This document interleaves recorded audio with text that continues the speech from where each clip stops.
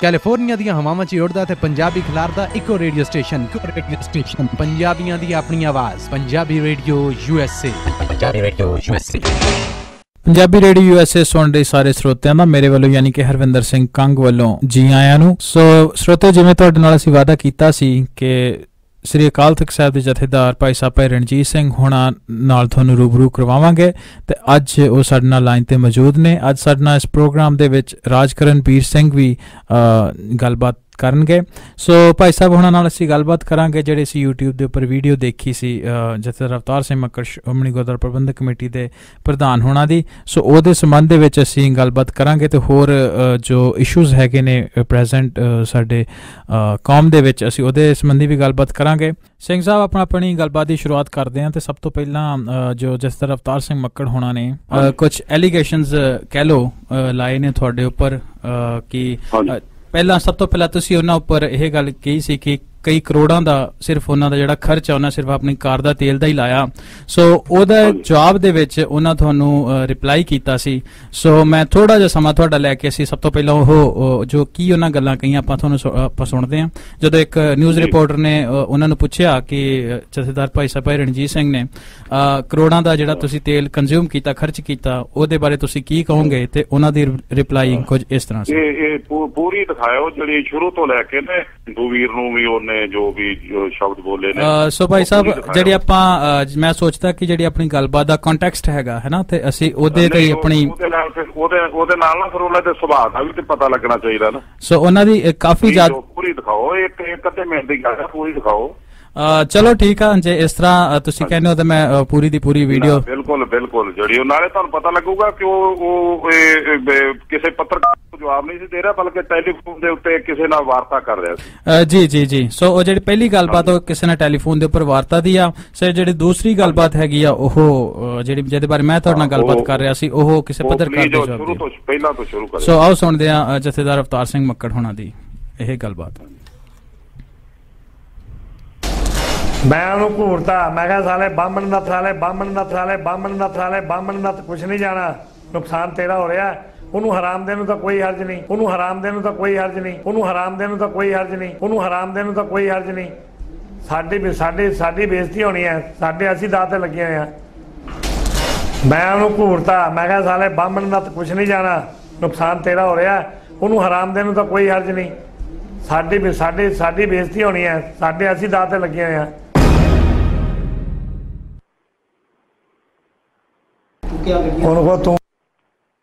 ਸੋ ਭਾਈ ਸਾਹਿਬ ਇਹ ਤੋਂ ਬਾਅਦ ਜਿਹੜਾ ਤੁਸੀਂ ਉਹਦੇ ਉਹਨਾਂ ਉੱਪਰ ਜਿਹੜੀ ਗੱਲਬਾਤ ਕੀਤੀ ਸੀ ਕਿ ਤੇਲ ਦਾ ਕਰੋੜਾਂ ਰੁਪਏ ਦਾ ਤੇਲ ਦਾ ਖਰਚਾ ਉਹਨਾਂ ਆਪਣੇ ਪੇਪਰਸ ਵਿੱਚ ਸ਼੍ਰੋਮਣੀ ਕਮੇਟੀ ਦੇ ਬਜਟ ਦੇ ਪੇਪਰਸ ਦੇ ਵਿੱਚ ਸ਼ੋਅ ਕੀਤਾ ਹੋਇਆ।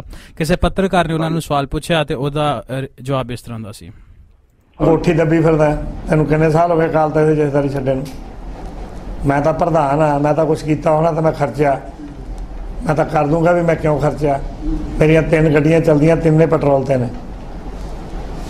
ਦੋ ਮੇਰੀ ਸਿਕਿਉਰਿਟੀ ਦੀਆਂ, ਇੱਕ ਮੇਰੀ ਜਿਹੜੀ ਗੱਡੀ ਆਪਣੀ ਹੈ ਫੈਮਿਲੀ ਉਹਨੂੰ ਪੁੱਛ ਵੀ ਤੂੰ ਕੋਠੀ ਕਿਹੜੀ ਗੱਲ ਤੇ ਦੱਬੀ ਬੈਠਾ ਜਿਹੜਾ ਬੰਦਾ ਛੱਜ ਤਾਂ ਬੋਲੇ ਛਾਣਨੀ ਕੀ ਬੋਲੇ? ਜਿਹੜਾ ਬੰਦਾ ਆਪ ਗੁਰੂ ਘਰ ਦੇ ਪ੍ਰਾਪਰਟੀ ਨੂੰ ਦੱਬੀ ਬੈਠਾ, ਉਹ ਲੋਕਾਂ ਨੂੰ ਨਸੀਹਤ ਦੇਣ ਜਾਊਗਾ?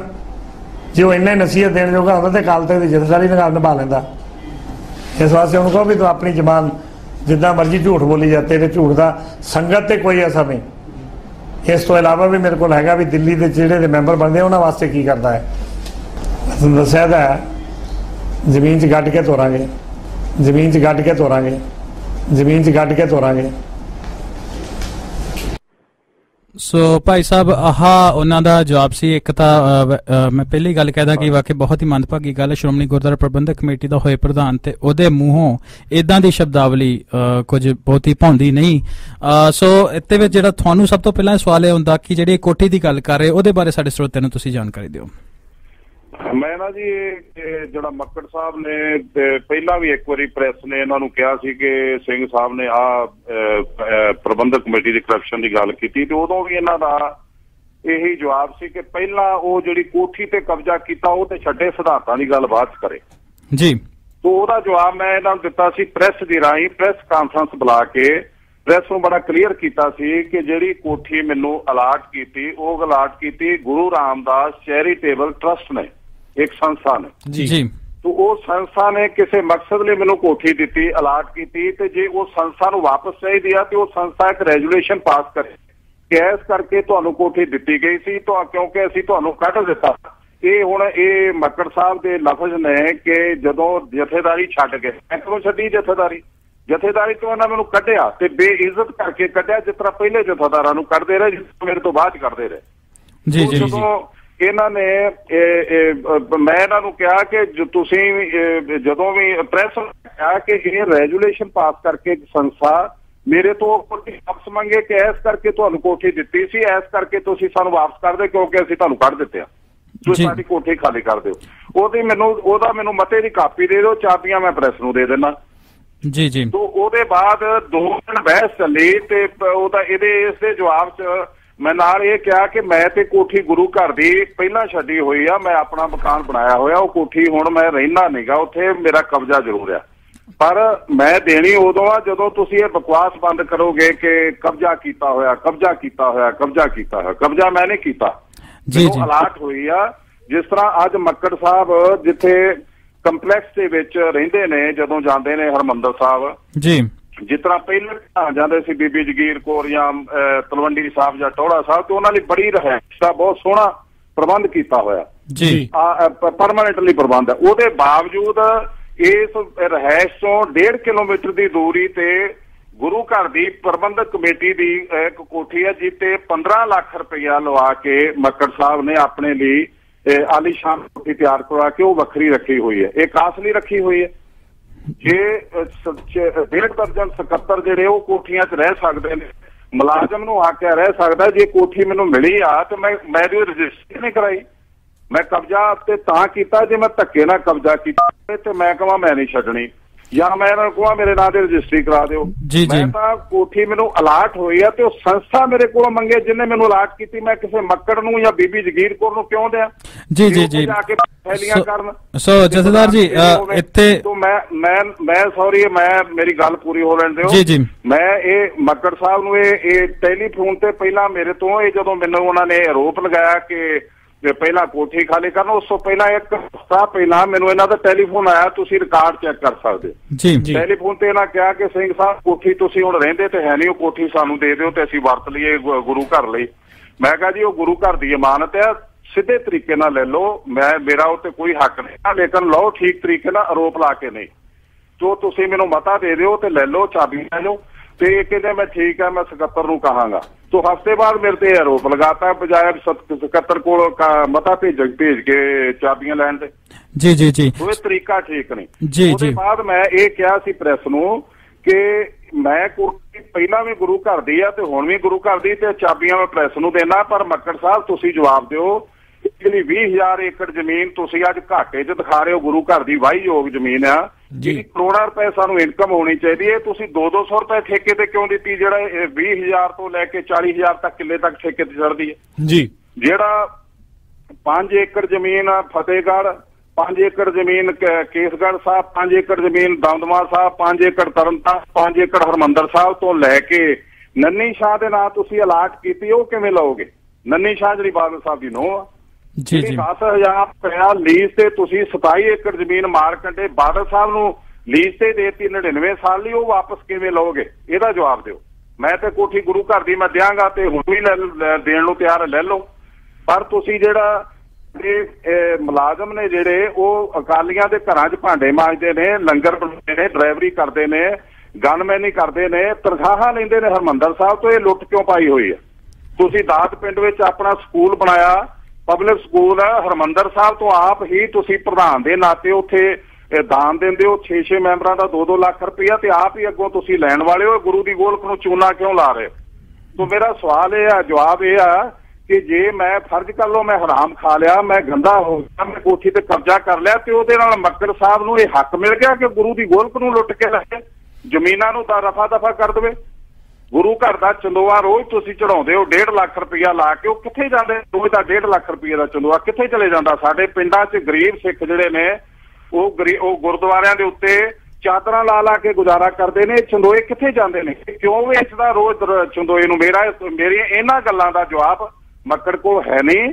ਤੇ ਜਵਾਬ ਹੈਗਾ ਤੇ ਇੱਕੋ ਇੱਕ ਇਹਨੇ ਕੋਠੀ ਤੇ ਕਬਜ਼ਾ ਕੀਤਾ ਹੋਇਆ। ਤੇ ਮੈਂ ਤੁਹਾਨੂੰ ਸੰਗਤ ਦੇ ਰੂਬਰੂ ਹੋ ਕੇ ਬੜਾ ਖਰਾਕ ਦਿਲੀ ਨਾਲ ਪ੍ਰੈਸ ਨੂੰ ਮੈਂ ਕਹਿ ਚੁੱਕਾ ਡੇਢ ਪਹਿਲਾਂ ਕਿ ਮੈਨੂੰ ਸੰਸਥਾ ਨੇ ਅਲਾਟ ਕੀਤੀ ਹੈ ਗੁਰੂ ਰਾਮਦਾਸ ਚੈਰੀਟੇਬਲ ਟਰਸਟ ਨੇ। ਤੇ ਗੁਰੂ ਰਾਮਦਾਸ ਚੈਰੀਟੇਬਲ ਟਰਸਟ ਮਤਾ ਪਾਸ ਕੇ ਪਾਸ ਕਰਕੇ ਮਤੇ ਦੀ ਕਾਪੀ ਦੇ ਮੇਰੇ ਤੋਂ ਕੋਠੀ ਲੈ ਲਵੇ। ਜੀ ਜੀ ਜੀ। ਬਾਕੀ ਰਹੀ ਬਾਕੀ ਰਹੀ ਗੱਲ ਇਹਦੇ ਕਾਰ ਦੀ।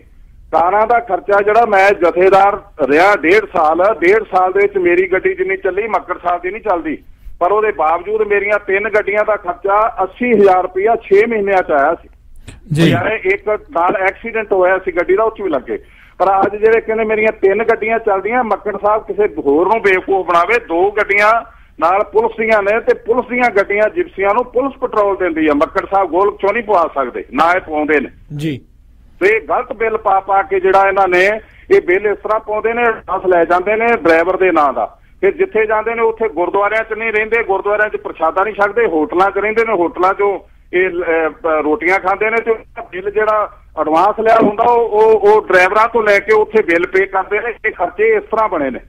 ਜੀ ਜੀ ਜੀ। ਜਵਾਬ ਉਹਦਾ ਦੇਣਾ ਚਾਹੀਦਾ ਮੱਕੜ ਸਾਹਿਬ ਨੂੰ ਇਹ ਗੁੱਸਾ ਥੁੱਕ ਕੇ ਗੁਰੂ ਘਰ ਦੀ ਪਾਰਦਰਸ਼ਤਾ ਨਾਲ ਜਿਹੜੀ ਗੁਰੂ ਦੀ ਗੋਲਕ ਆ ਇਹ ਚ ਲੋਕੀ ਪਾਸਾ ਪਾਸਾ ਮੱਥਾ ਟੇਕਦੇ ਗਰੀਬ ਸਿੱਖ ਜਿਹੜੇ ਆ ਉਹਨਾਂ ਨੂੰ ਰੋਟੀ ਖਾਣ ਨੂੰ ਨਹੀਂ ਮਿਲਦੀ ਤੇ ਉਹ ਗੁਰੂ ਲਈ ਆਪਣਾ ਦਸਵੰਧ ਦਿੰਦੇ ਆ ਤੇ ਇਹਨੂੰ ਇਹਨੂੰ ਇੰਨਾ ਬੇਦਰਦੀ ਨਾਲ ਉਹਨੂੰ ਨਹੀਂ ਖਰਚ ਕਰਨਾ ਚਾਹੀਦਾ ਨਾ ਬਾਦਲ ਪਰਿਵਾਰ ਨੂੰ ਲਟਾਉਣਾ ਚਾਹੀਦਾ।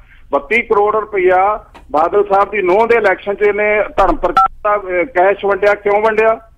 ਇਹ ਇਹ ਸਾਈਆਂ ਨੂੰ ਗਿਰਜਾ ਬਣਾਉਣ ਲਈ ਪੈਸੇ ਦੇਵੇ ਹਿੰਦੂਆਂ ਨੂੰ ਮੰਦਿਰ ਬਣਾਉਣ ਲਈ ਦੇਵੇ, ਛੋਟੀਆਂ ਬਰਾਦਰੀਆਂ ਨੂੰ ਧਰਮਸ਼ਾਲਾ ਬਣਾਉਣ ਲਈ ਦੇਵੇ, ਧਰਮ ਪ੍ਰਚਾਰ। ਉਸ ਧਰਮ ਪ੍ਰਚਾਰ ਦੇ ਖਾਤੇ 'ਚ 32 ਕਰੋੜ ਰੁਪਇਆ ਇੱਕ ਹਲਕੇ 'ਚ ਗਿਆ, ਜਿਹੜਾ ਬਠਿੰਡੇ ਦਾ ਹਲਕਾ ਤੇ ਕਾਗਜ਼ਾਂ ਦੇ ਵਿੱਚ ਉਹਦੀ ਆਊਟਪੁੱਟ ਕੀ ਆ? ਧਰਮ ਪ੍ਰਚਾਰ ਕੀਤਾ 53 ਪ੍ਰਾਣੀਆਂ ਨੇ ਅੰਮ੍ਰਿਤਪਾਨ ਕੀਤਾ। ਬਾ, ਇਹ, ਇਹਦਾ ਜਵਾਬ ਦੇਣ ਮੱਕੜ ਸਾਹਿਬ। ਕੋਠੀ ਮੈਂ ਤੁਹਾਨੂੰ ਹੱਕ ਦੇਣਾ ਤੁਸੀਂ ਮੈਨੂੰ ਮਤੇ ਦੀ ਕਾਪੀ ਦਿਓ ਮੈਂ ਅੱਜ ਸ਼ਾਮ ਨੂੰ ਕੋਠੀ ਵਾਪਸ ਕਰੂੰਗਾ। ਗੁਰੂ ਘਰ ਦੀ ਚੀਜ਼ ਆ ਮੈਂ ਉਹ ਸੰਸਥਾ ਨੂੰ ਵਾਪਸ ਕਰੂੰਗਾ ਕਿਸੇ ਵਿਅਕਤੀ ਨਹੀਂ। ਜੀ ਜੀ ਜੀ। ਸੋ ਇਹਦੇ ਇਹਦੇ ਵਿੱਚ ਇੱਕ ਜਿਹੜਾ ਮੇਰਾ ਸਵਾਲ ਤੁਹਾਨੂੰ ਇਹ ਆ ਮੈਂ ਸਰੋਤਿਆਂ ਦੇ ਮਨ ਵਿੱਚ ਵੀ ਸਵਾਲ ਜ਼ਰੂਰ ਹੋਗਾ ਜਿਹੜਾ ਗੁਰਾਮ ਦਾਸ ਚੈਰੀਟੇਬਲ ਟਰਸਟ ਆ। ਇਹਦੀ ਇਹਦੀ ਪ੍ਰਧਾਨਗੀ ਕੌਣ ਕਰਦਾ ਤੇ ਇਹ ਜਿਹੜਾ ਟਰਸਟ ਹੈਗਾ ਇਹ ਕੀ ਕੰਮ ਕਰਦਾ? ਉਹਦੇ ਬਾਰੇ ਬਿਲਕੁਲ ਬਰੀਫ ਜੀ ਜਾਣਕਾਰੀ ਮੈਂ ਲੈਣੀ ਚਾਹਾਂਗਾ। ਇਹ ਟਰਸਟ ਜਿਹੜਾ ਹੈ ਇਹਦੇ ਵਿੱਚ ਉਮਰ ਭਰ ਲਈ ਮੈਂਬਰ ਬਣੇ ਹੋਏ ਨੇ ਪੱਕੇ। ਜੀ। ਤੇ ਇਹਦੀ ਪ੍ਰਧਾਨਗੀ ਉਹੀ ਕਰਦਾ ਹੈ ਜਿਹੜਾ ਪ੍ਰਬੰਧਕ ਕਮੇਟੀ ਦਾ ਪ੍ਰਧਾਨ ਹੋਵੇ। ਜੀ। ਪਰ ਪ੍ਰਬੰਧਕ ਕਮੇਟੀ ਦਾ ਪ੍ਰਧਾਨ ਨੂੰ ਦੀ ਐਗਜ਼ੈਕਟਿਵ ਵੱਖਰੀ ਆ ਕਮੇਟੀ ਵੱਖਰੀ ਆ ਉਸ ਕਮੇਟੀ ਦੇ ਵਿੱਚੋਂ ਸੰਸਥਾ ਦੇ ਮੁਖੀ ਦੇ ਤੌਰ ਤੇ ਮਤਾ ਪਾਸ ਕਰਨ। ਜੀ। ਇਹ ਕੱਲਾ ਕਿਉਂ ਮੇਰੇ ਤੇ ਦਬਾਅ ਪਾ ਕੇ ਤੇ ਆਰੋਪ ਲਾ ਕੇ ਕਿਉਂ ਲਵੇ ਕਿ ਜੇ ਫਰਜ਼ ਕਰ ਲਓ ਅੱਜ ਮੈਂ ਦੇ ਦੇਣਾ ਕੋਠੀ ਤੇ ਇਹ ਤੇ ਭੌਂਸ ਦੇ ਕੇ ਜਿਸ ਤਰ੍ਹਾਂ ਸਾਧੂ ਸਿੰਘ ਭੌਰਾ ਦੇ ਭਾਂਡੇ ਚੁੱਕ ਕੇ ਇਹਨਾਂ ਨੇ ਬਾਹਰ ਮਾਰੇ। ਜੀ, ਜਿਸ ਜੀ। ਤਰ੍ਹਾਂ ਗ੍ਰੰਥੀ ਜਦੋਂ ਹਟਾਇਆ ਬਦੰਤੀ ਜੀ ਨੂੰ ਤੇ ਉਦੋਂ ਉਹ ਉਹਨੂੰ ਮਕਾਨ ਖਾਲੀ ਕਰਨ ਲਈ ਵੀ ਕਹਿਤਾ ਉਹਨੇ ਹੱਥ ਜੋੜ ਕੇ ਉਹ ਮਕਾਨ ਦੇ ਵਿੱਚ ਰੁਕਿਆ ਤੇ ਨਾਲ ਕਿਹਾ ਕਿ ਮੇਰੇ ਜਿਹੜੇ ਨੌਕਰ ਰੱਖੇ ਆ ਤੁਸੀਂ ਪ੍ਰਬੰਧਕ ਕਮੇਟੀ ਉਹ ਰਹਿਣ ਦਿਓ ਮੈਂ ਤੁਹਾਡੇ ਗੁਣ ਗਾਉਂਗਾ ਉਸ ਸ਼ਰਤ ਦੇ ਉੱਤੇ ਉਹ ਮਕਾਨ 'ਚ ਬੈਠਾ। ਜੀ ਜੀ ਜੀ। ਸੋ ਇਹਦੇ ਵਿੱਚ ਜਿਹੜਾ ਮੈਂ ਮੈਂ ਜੀ। ਮੇਰਾ ਸਵਾਲ ਇਹ ਆ ਵੀ ਮੇਰਾ ਜਵਾਬ ਇਹ ਆ ਕਿ ਪ੍ਰਬੰਧਕ ਕਮੇਟੀ ਦਾ ਪ੍ਰਧਾਨ ਜਿਹੜਾ ਉਹ ਐਜ਼ ਪ੍ਰਧਾਨ ਪ੍ਰਬੰਧਕ ਕਮੇਟੀ ਦੇ ਨਹੀਂ ਐਜ਼ ਪ੍ਰਧਾਨ ਗੁਰੂ ਰਾਮਦਾਸ ਚੈਰੀਟੇਬਲ ਟਰਸਟ ਦੇ। ਆਪਣੀ ਮੀਟਿੰਗ ਦੇ ਵਿੱਚ ਫੈਸਲਾ ਕਰਕੇ ਕਿਉਂਕਿ ਜਿਹੜੀ ਕੋਠੀ ਆ ਮੇਰੀ ਉਹ ਗੁਰੂ ਰਾਮਦਾਸ ਕੰਪਲੈਕਸ ਦੇ ਵਿੱਚ ਆ ਹਸਪੀਟਲ ਦੇ ਕੰਪਲੈਕਸ ਦੇ ਵਿੱਚ ਆ। ਜੀ। ਜੀ।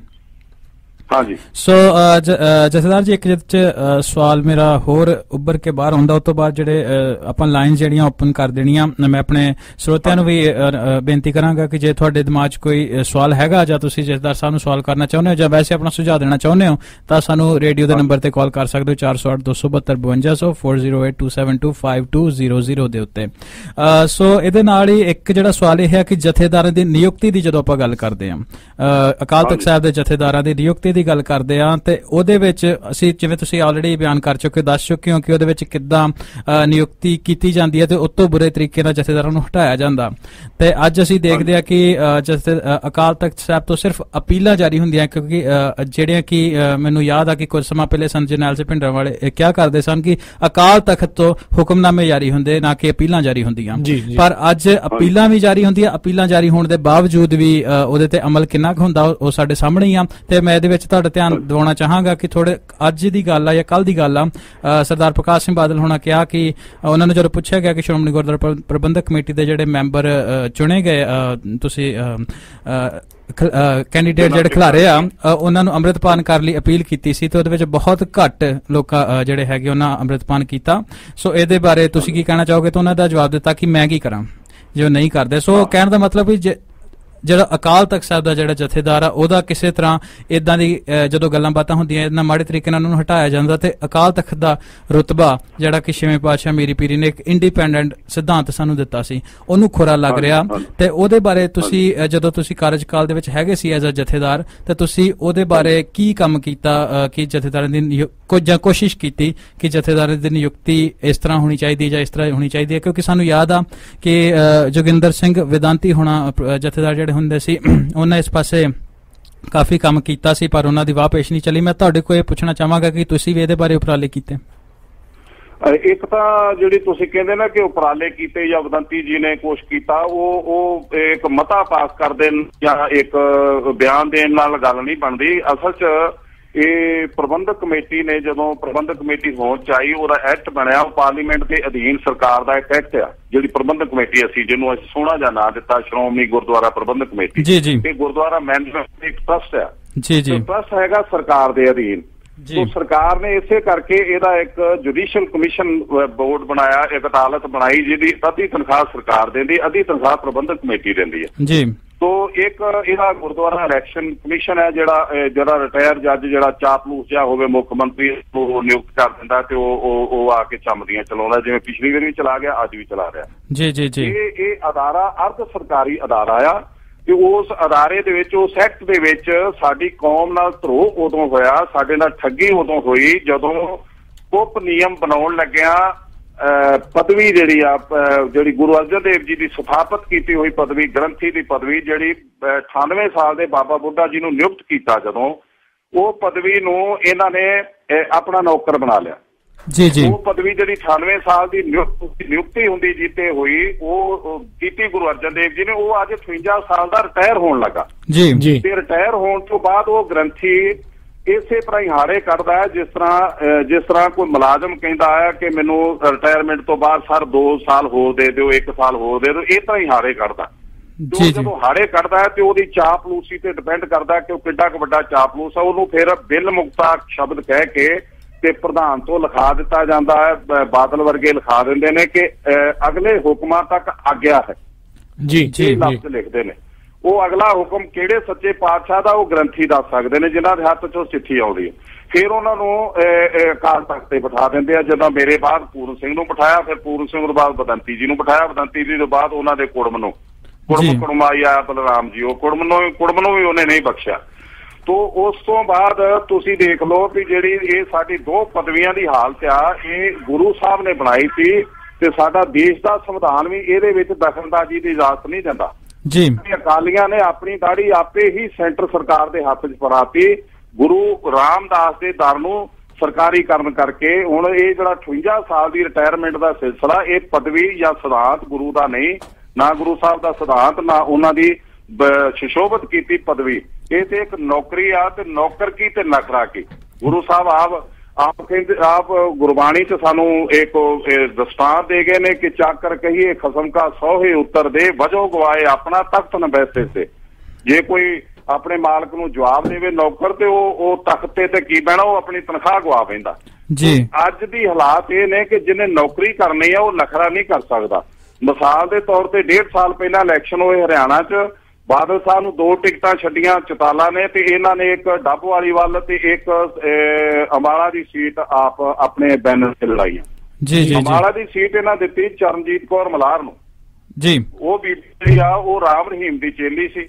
ਤੋਂ ਸਾਰੇ ਸਿੱਖਾਂ ਨੇ ਦੁਹਾਈ ਪਾਈ ਕਿ ਮੈਨੂੰ ਵੀ ਟੈਲੀਫੋਨ ਕੀਤੇ ਤੁਸੀਂ ਇੱਥੇ ਆਓ ਮੈਂ ਇੱਥੇ ਜਦੋਂ ਆਇਆ ਅੰਬਾਲੇ ਤੇ ਮੈਨੂੰ ਸਿੱਖਾਂ ਨੇ ਕਿਹਾ ਜੀ ਇਹ ਬੀਬੀ ਦੁੱਧ ਪਿਉਂਦੀ ਸਾਰਿਆਂ ਦੇ ਸਾਹਮਣੇ ਲਿਆ ਕੇ ਤਰੀਕ ਤੇ ਰਾਮ ਰਹੀਮ ਨੂੰ ਜਦੋਂ ਰਾਮ ਰਹੀਮ ਪੇਸ਼ੀ ਤੇ ਆਉਂਦਾ ਤਰੀਕ ਤੇ। ਜੀ ਜੀ ਤੇ ਅੱਜ ਇਹ ਬਾਦਲ ਸਾਹਿਬ ਨੇ ਇਹਨੂੰ ਟਿਕਟ ਦੇ ਦਿੱਤੀ ਆ ਤੇ ਇੱਕ ਪਾਸੇ ਹੁਕਮਨਾਮਾ ਜਾਰੀ ਹੋਇਆ ਕਿ ਇਹਨਾਂ ਦਾ ਬਾਈਕਾਟ ਕਰੋ ਤੋਂ। ਮੈਂ ਉੱਥੇ ਪ੍ਰੈਸ ਕਾਨਫਰੰਸ ਕਰਕੇ ਪੰਜ ਸਿੰਘ ਸਹਿਬਾਨ ਅਖਵਾਉਣ ਵਾਲੇ ਗ੍ਰੰਥੀਆਂ ਨੂੰ ਮੈਂ ਕਿਹਾ ਕਿ ਕਿਰਪਾ ਕਰਕੇ ਹਰਿਆਣੇ ਦੀ ਸੰਗਤ ਨੂੰ ਰਾਹ ਦਿਓ ਕਿ ਤੁਹਾਡਾ ਹੁਕਮ ਮੰਨ ਕੇ ਕਾਲ ਤਖਤ ਦਾ ਤੇ ਤੁਹਾਡਾ ਕਿ ਇਹ ਬਾਈਕਾਟ ਕਰਨ ਇਸ ਬੀਬੀ ਦਾ ਜਿਹੜੀ ਰਾਮ ਰਹੀਮ ਦੀ ਚੇਲੀ ਹੈ ਜਾਂ ਬਾਦਲ ਸਾਹਿਬ ਦਾ ਹੁਕਮ ਮੰਨ ਕੇ ਇਹਨੂੰ ਤੱਕੜੀ ਤੇ ਵੋਟਾਂ ਪਾਉਣ ਉਹਦਾ ਜਵਾਬ ਮੈਨੂੰ ਅੱਜ ਤੱਕ ਨਹੀਂ ਮਿਲਿਆ ਫਿਰ ਉਦੋਂ ਬਾਅਦ ਪ੍ਰੈਸ ਨੇ ਮੱਕੜ ਸਾਹਿਬ ਗਏ ਉੱਥੇ ਪ੍ਰਚਾਰ ਕਰਨ ਉਹਦੇ ਹੱਕ 'ਚ ਤੋਂ ਪ੍ਰੈਸ ਕਿਹਾ ਜੀ ਇਹ ਸਾਡੀ ਜਾਣਕਾਰੀ ਮੁਤਾਬਕ ਇਹ ਰਾਮ ਰਹੀਮ ਦੀ ਚੇਲੀ ਹੈ।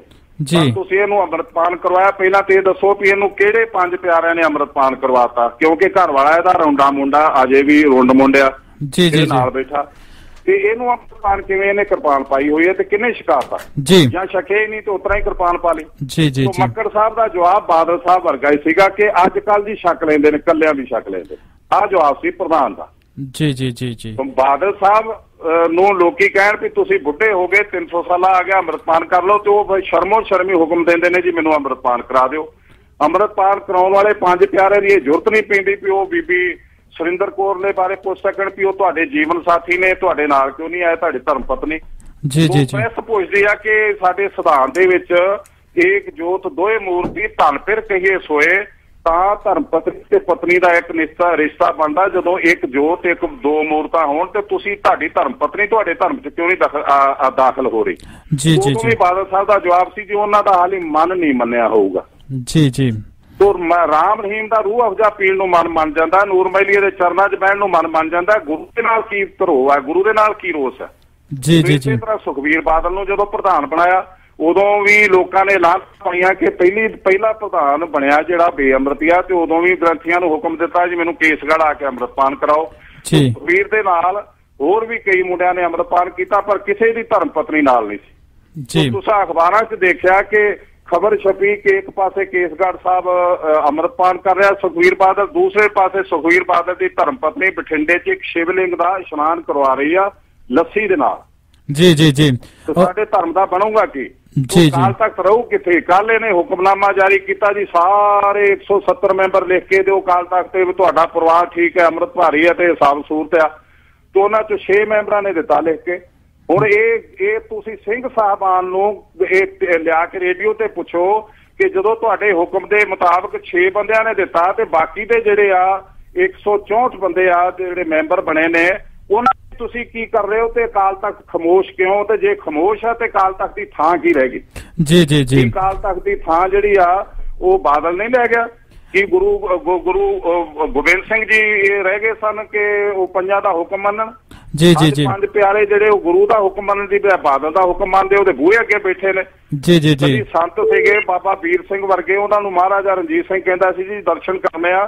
ਤੇ ਉਹਨਾਂ ਦਾ ਹੁਕਮ ਹੁੰਦਾ ਸੀ ਕਿ ਪਹਿਲਾਂ ਇਹ ਖਿੱਲਤ ਨਾ ਲੈ ਕੇ ਉਸਾ ਲੰਗਰ ਤੇ ਸਾਰਿਆਂ ਗਰੀਬਾਂ ਨਾਲ ਬੈਠ ਕੇ ਲੰਗਰ ਛਕੀ ਤੇ ਫੇਰ ਮੇਰੇ ਨਾਲ ਤੂੰ ਮਿਲ ਸਕਦਾ। ਜੀ ਜੀ ਜੀ। ਗਿਆਨੀ ਸਿੰਘ ਸੀਐਮਸੀ ਰਾਣਾ ਸਾਹਿਬ ਦੇ ਸੰਤ ਬਾਬਾ ਈਸ਼ਰ ਸਿੰਘ ਜੀ ਤੋਂ ਟਾਈਮ ਲਿਆ 5 ਮਿੰਟ ਲੇਟ ਹੋਏ ਬਾਬਾ ਜੀ ਬਾਹਰ ਆ ਗਏ। ਬਾਹਰ ਆਉਂਦਿਆਂ ਨੂੰ ਉਹ ਅੱਗੋਂ ਮਿਲਿਆ 5 ਮਿੰਟ ਲੇਟ ਜੀ। ਉਹਨੇ ਪੈਰੀ ਹੱਥ ਲਾ ਕੇ ਕਿਹਾ ਜੀ ਬਾਬਾ ਜੀ ਮੈਨੂੰ ਮਾਫ ਕਰ ਦਿਓ 5 ਮਿੰਟ ਲਿਓਗੇ ਬਾਬਾ ਜੀ ਨੇ ਕਿਹਾ ਅੱਗੇ ਤੋਂ ਟਾਈਮ ਨਾ ਹੀ ਤੇ ਅੱਜ ਤੂੰ ਜਾ ਕਰ ਨੂੰ। ਜੀ ਜੀ ਜੀ। ਸੀਗਾ ਸੰਤਤਾਈ ਅੱਜ ਜੀ। ਸਾਡੇ ਸੰਤ ਜਿਹੜੇ ਸੀਐਮ ਦੇ ਬੂਹੇ ਅੱਗੇ 2-2 ਘੰਟੇ ਉਹਦੀ ਵੇਟ ਕਰਦੇ ਆ।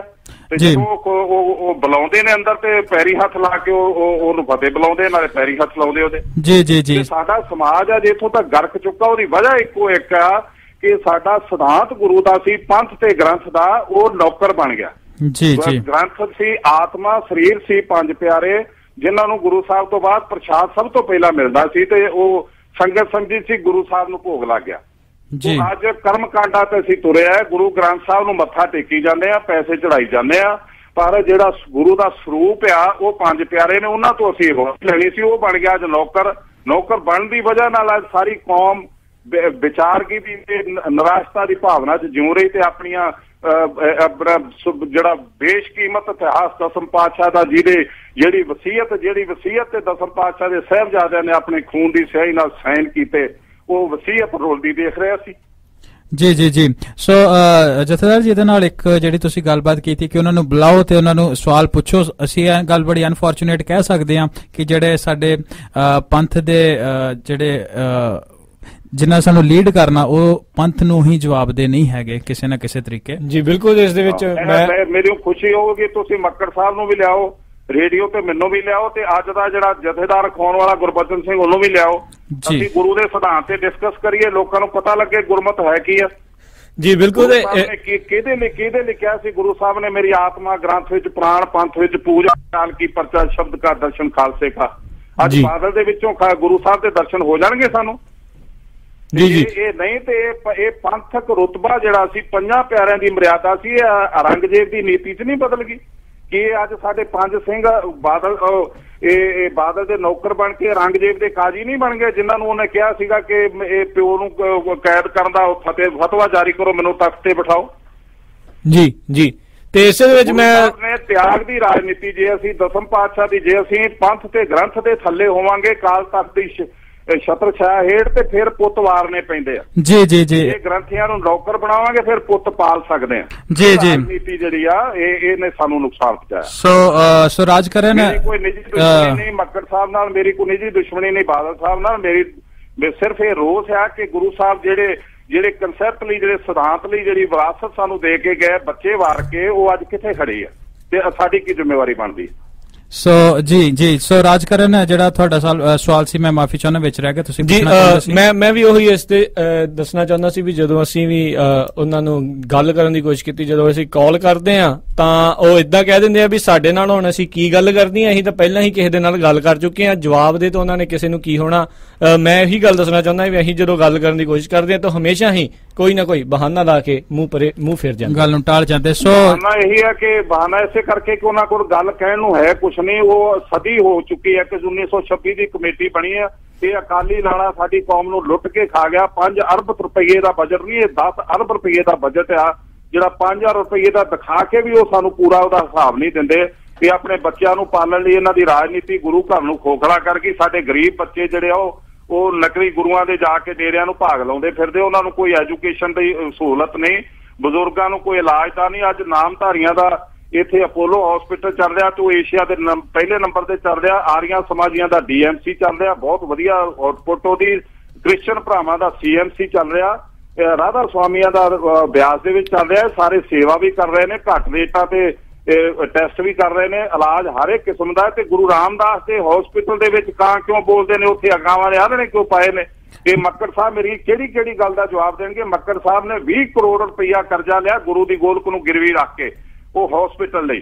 ਹਸਪੀਟਲ 'ਚ 8 ਕਰੋੜ ਦੀ ਮਸ਼ੀਨਰੀ ਲੱਗੀ 21 ਕਰੋੜ ਦੇ ਬਿੱਲ ਪਾ ਕੇ ਸਾਰੇ ਟਕਾਰ ਗਿਆ। ਇਹਦੀ ਇਹਦੀ ਆਹੀ ਸਾਡੇ ਕੋਲ 1 ਕਰੋੜ 69 ਲੱਖ ਰੁਪਈਆ ਖਾ ਜਾਂਦੀ ਹੈ ਤੇ ਆਪ ਕਿੰਨਾ ਖਾਂਦਾ ਹੋਊਗਾ? ਜੀ ਜੀ ਜੀ। ਸੋ ਜਥੇਦਾਰ ਜੀ ਦੇ ਨਾਲ ਹੀ ਸਾਡੇ ਜਿਹੜੇ ਲਾਈਨਸ ਆ ਕਾਫੀ ਸਮੇਂ ਤੋਂ ਬਲਿੰਕ ਕਰ ਰਹੀਆਂ ਨੇ ਸਾਰੀਆਂ ਦੇ ਸਾਰੀਆਂ ਸਾਡੀ ਲਾਈਨਸ ਆਪਣੇ ਤੇ ਮੈਂ ਨਾਲ ਹੀ ਆਪਣੇ ਸਰੋਤਿਆਂ ਨੂੰ ਇੱਕ ਦਰਖਾਸਤ ਕਰਨਾ ਚਾਹੂੰਗਾ ਵੀ ਤੁਸੀਂ ਕਿਰਪਾ ਕਰਕੇ ਕੋਸ਼ਿਸ਼ ਕਰਿਓ ਵੀ ਤੁਸੀਂ ਜਿੱਦਾਂ ਮੱਕੜ ਜੀ ਦੀ ਭਾਸ਼ਾ ਸੀ ਉਸ ਤੋਂ ਪਰਹੇਜ਼ ਕਰਿਓ ਤੇ ਤੁਸੀਂ ਜਿਹੜੀ ਪਰਿਵਾਰ ਦੇ ਵਿੱਚ ਕਹਿਣ ਲਾਇਕ ਜਿਹੜੀ ਭਾਸ਼ਾ ਉਹ ਵਰਤਿਓ ਤੇ ਤੁਸੀਂ ਹੁਣ ਸਾਨੂੰ ਕਾਲ ਕਰ ਸਕਦੇ ਹੋ 408 272 5200 ਦੇ ਉੱਤੇ 4082725200 ਸੋ ਇਹਦੇ ਨਾਲ ਹੀ ਜਿਹੜੇ ਸਾਡੇ ਨਾਲ ਕਾਲਰ ਨੇ ਸਭ ਤੋਂ ਪਹਿਲੇ ਸੁਖੀ ਚਾਲ ਜੀ ਨੇ ਜੋ ਕਿ ਇੱਥੇ ਅਮਰੀਕਾ ਦੇ ਵਿੱਚ ਨਾਰਥ ਅਮਰੀਕਾ ਦੇ ਵਿੱਚ ਕੈਂਸਰ ਫਾਊਂਡੇਸ਼ਨ ਨੂੰ ਚਲਾ ਰਹੇ ਨੇ। ਆਪਾਂ ਉਹਨਾਂ ਨਾਲ ਗੱਲਬਾਤ ਕਰਦੇ ਹਾਂ। ਸਤਿ ਸ਼੍ਰੀ ਅਕਾਲ ਸੁਖੀ ਜੀ। ਬਹੁਤ ਬਹੁਤ ਸਵਾਗਤ ਹੈ ਤੁਹਾਡਾ ਪੰਜਾਬੀ ਰੇਡੀਓ ਯੂਐਸਏ ਤੇ।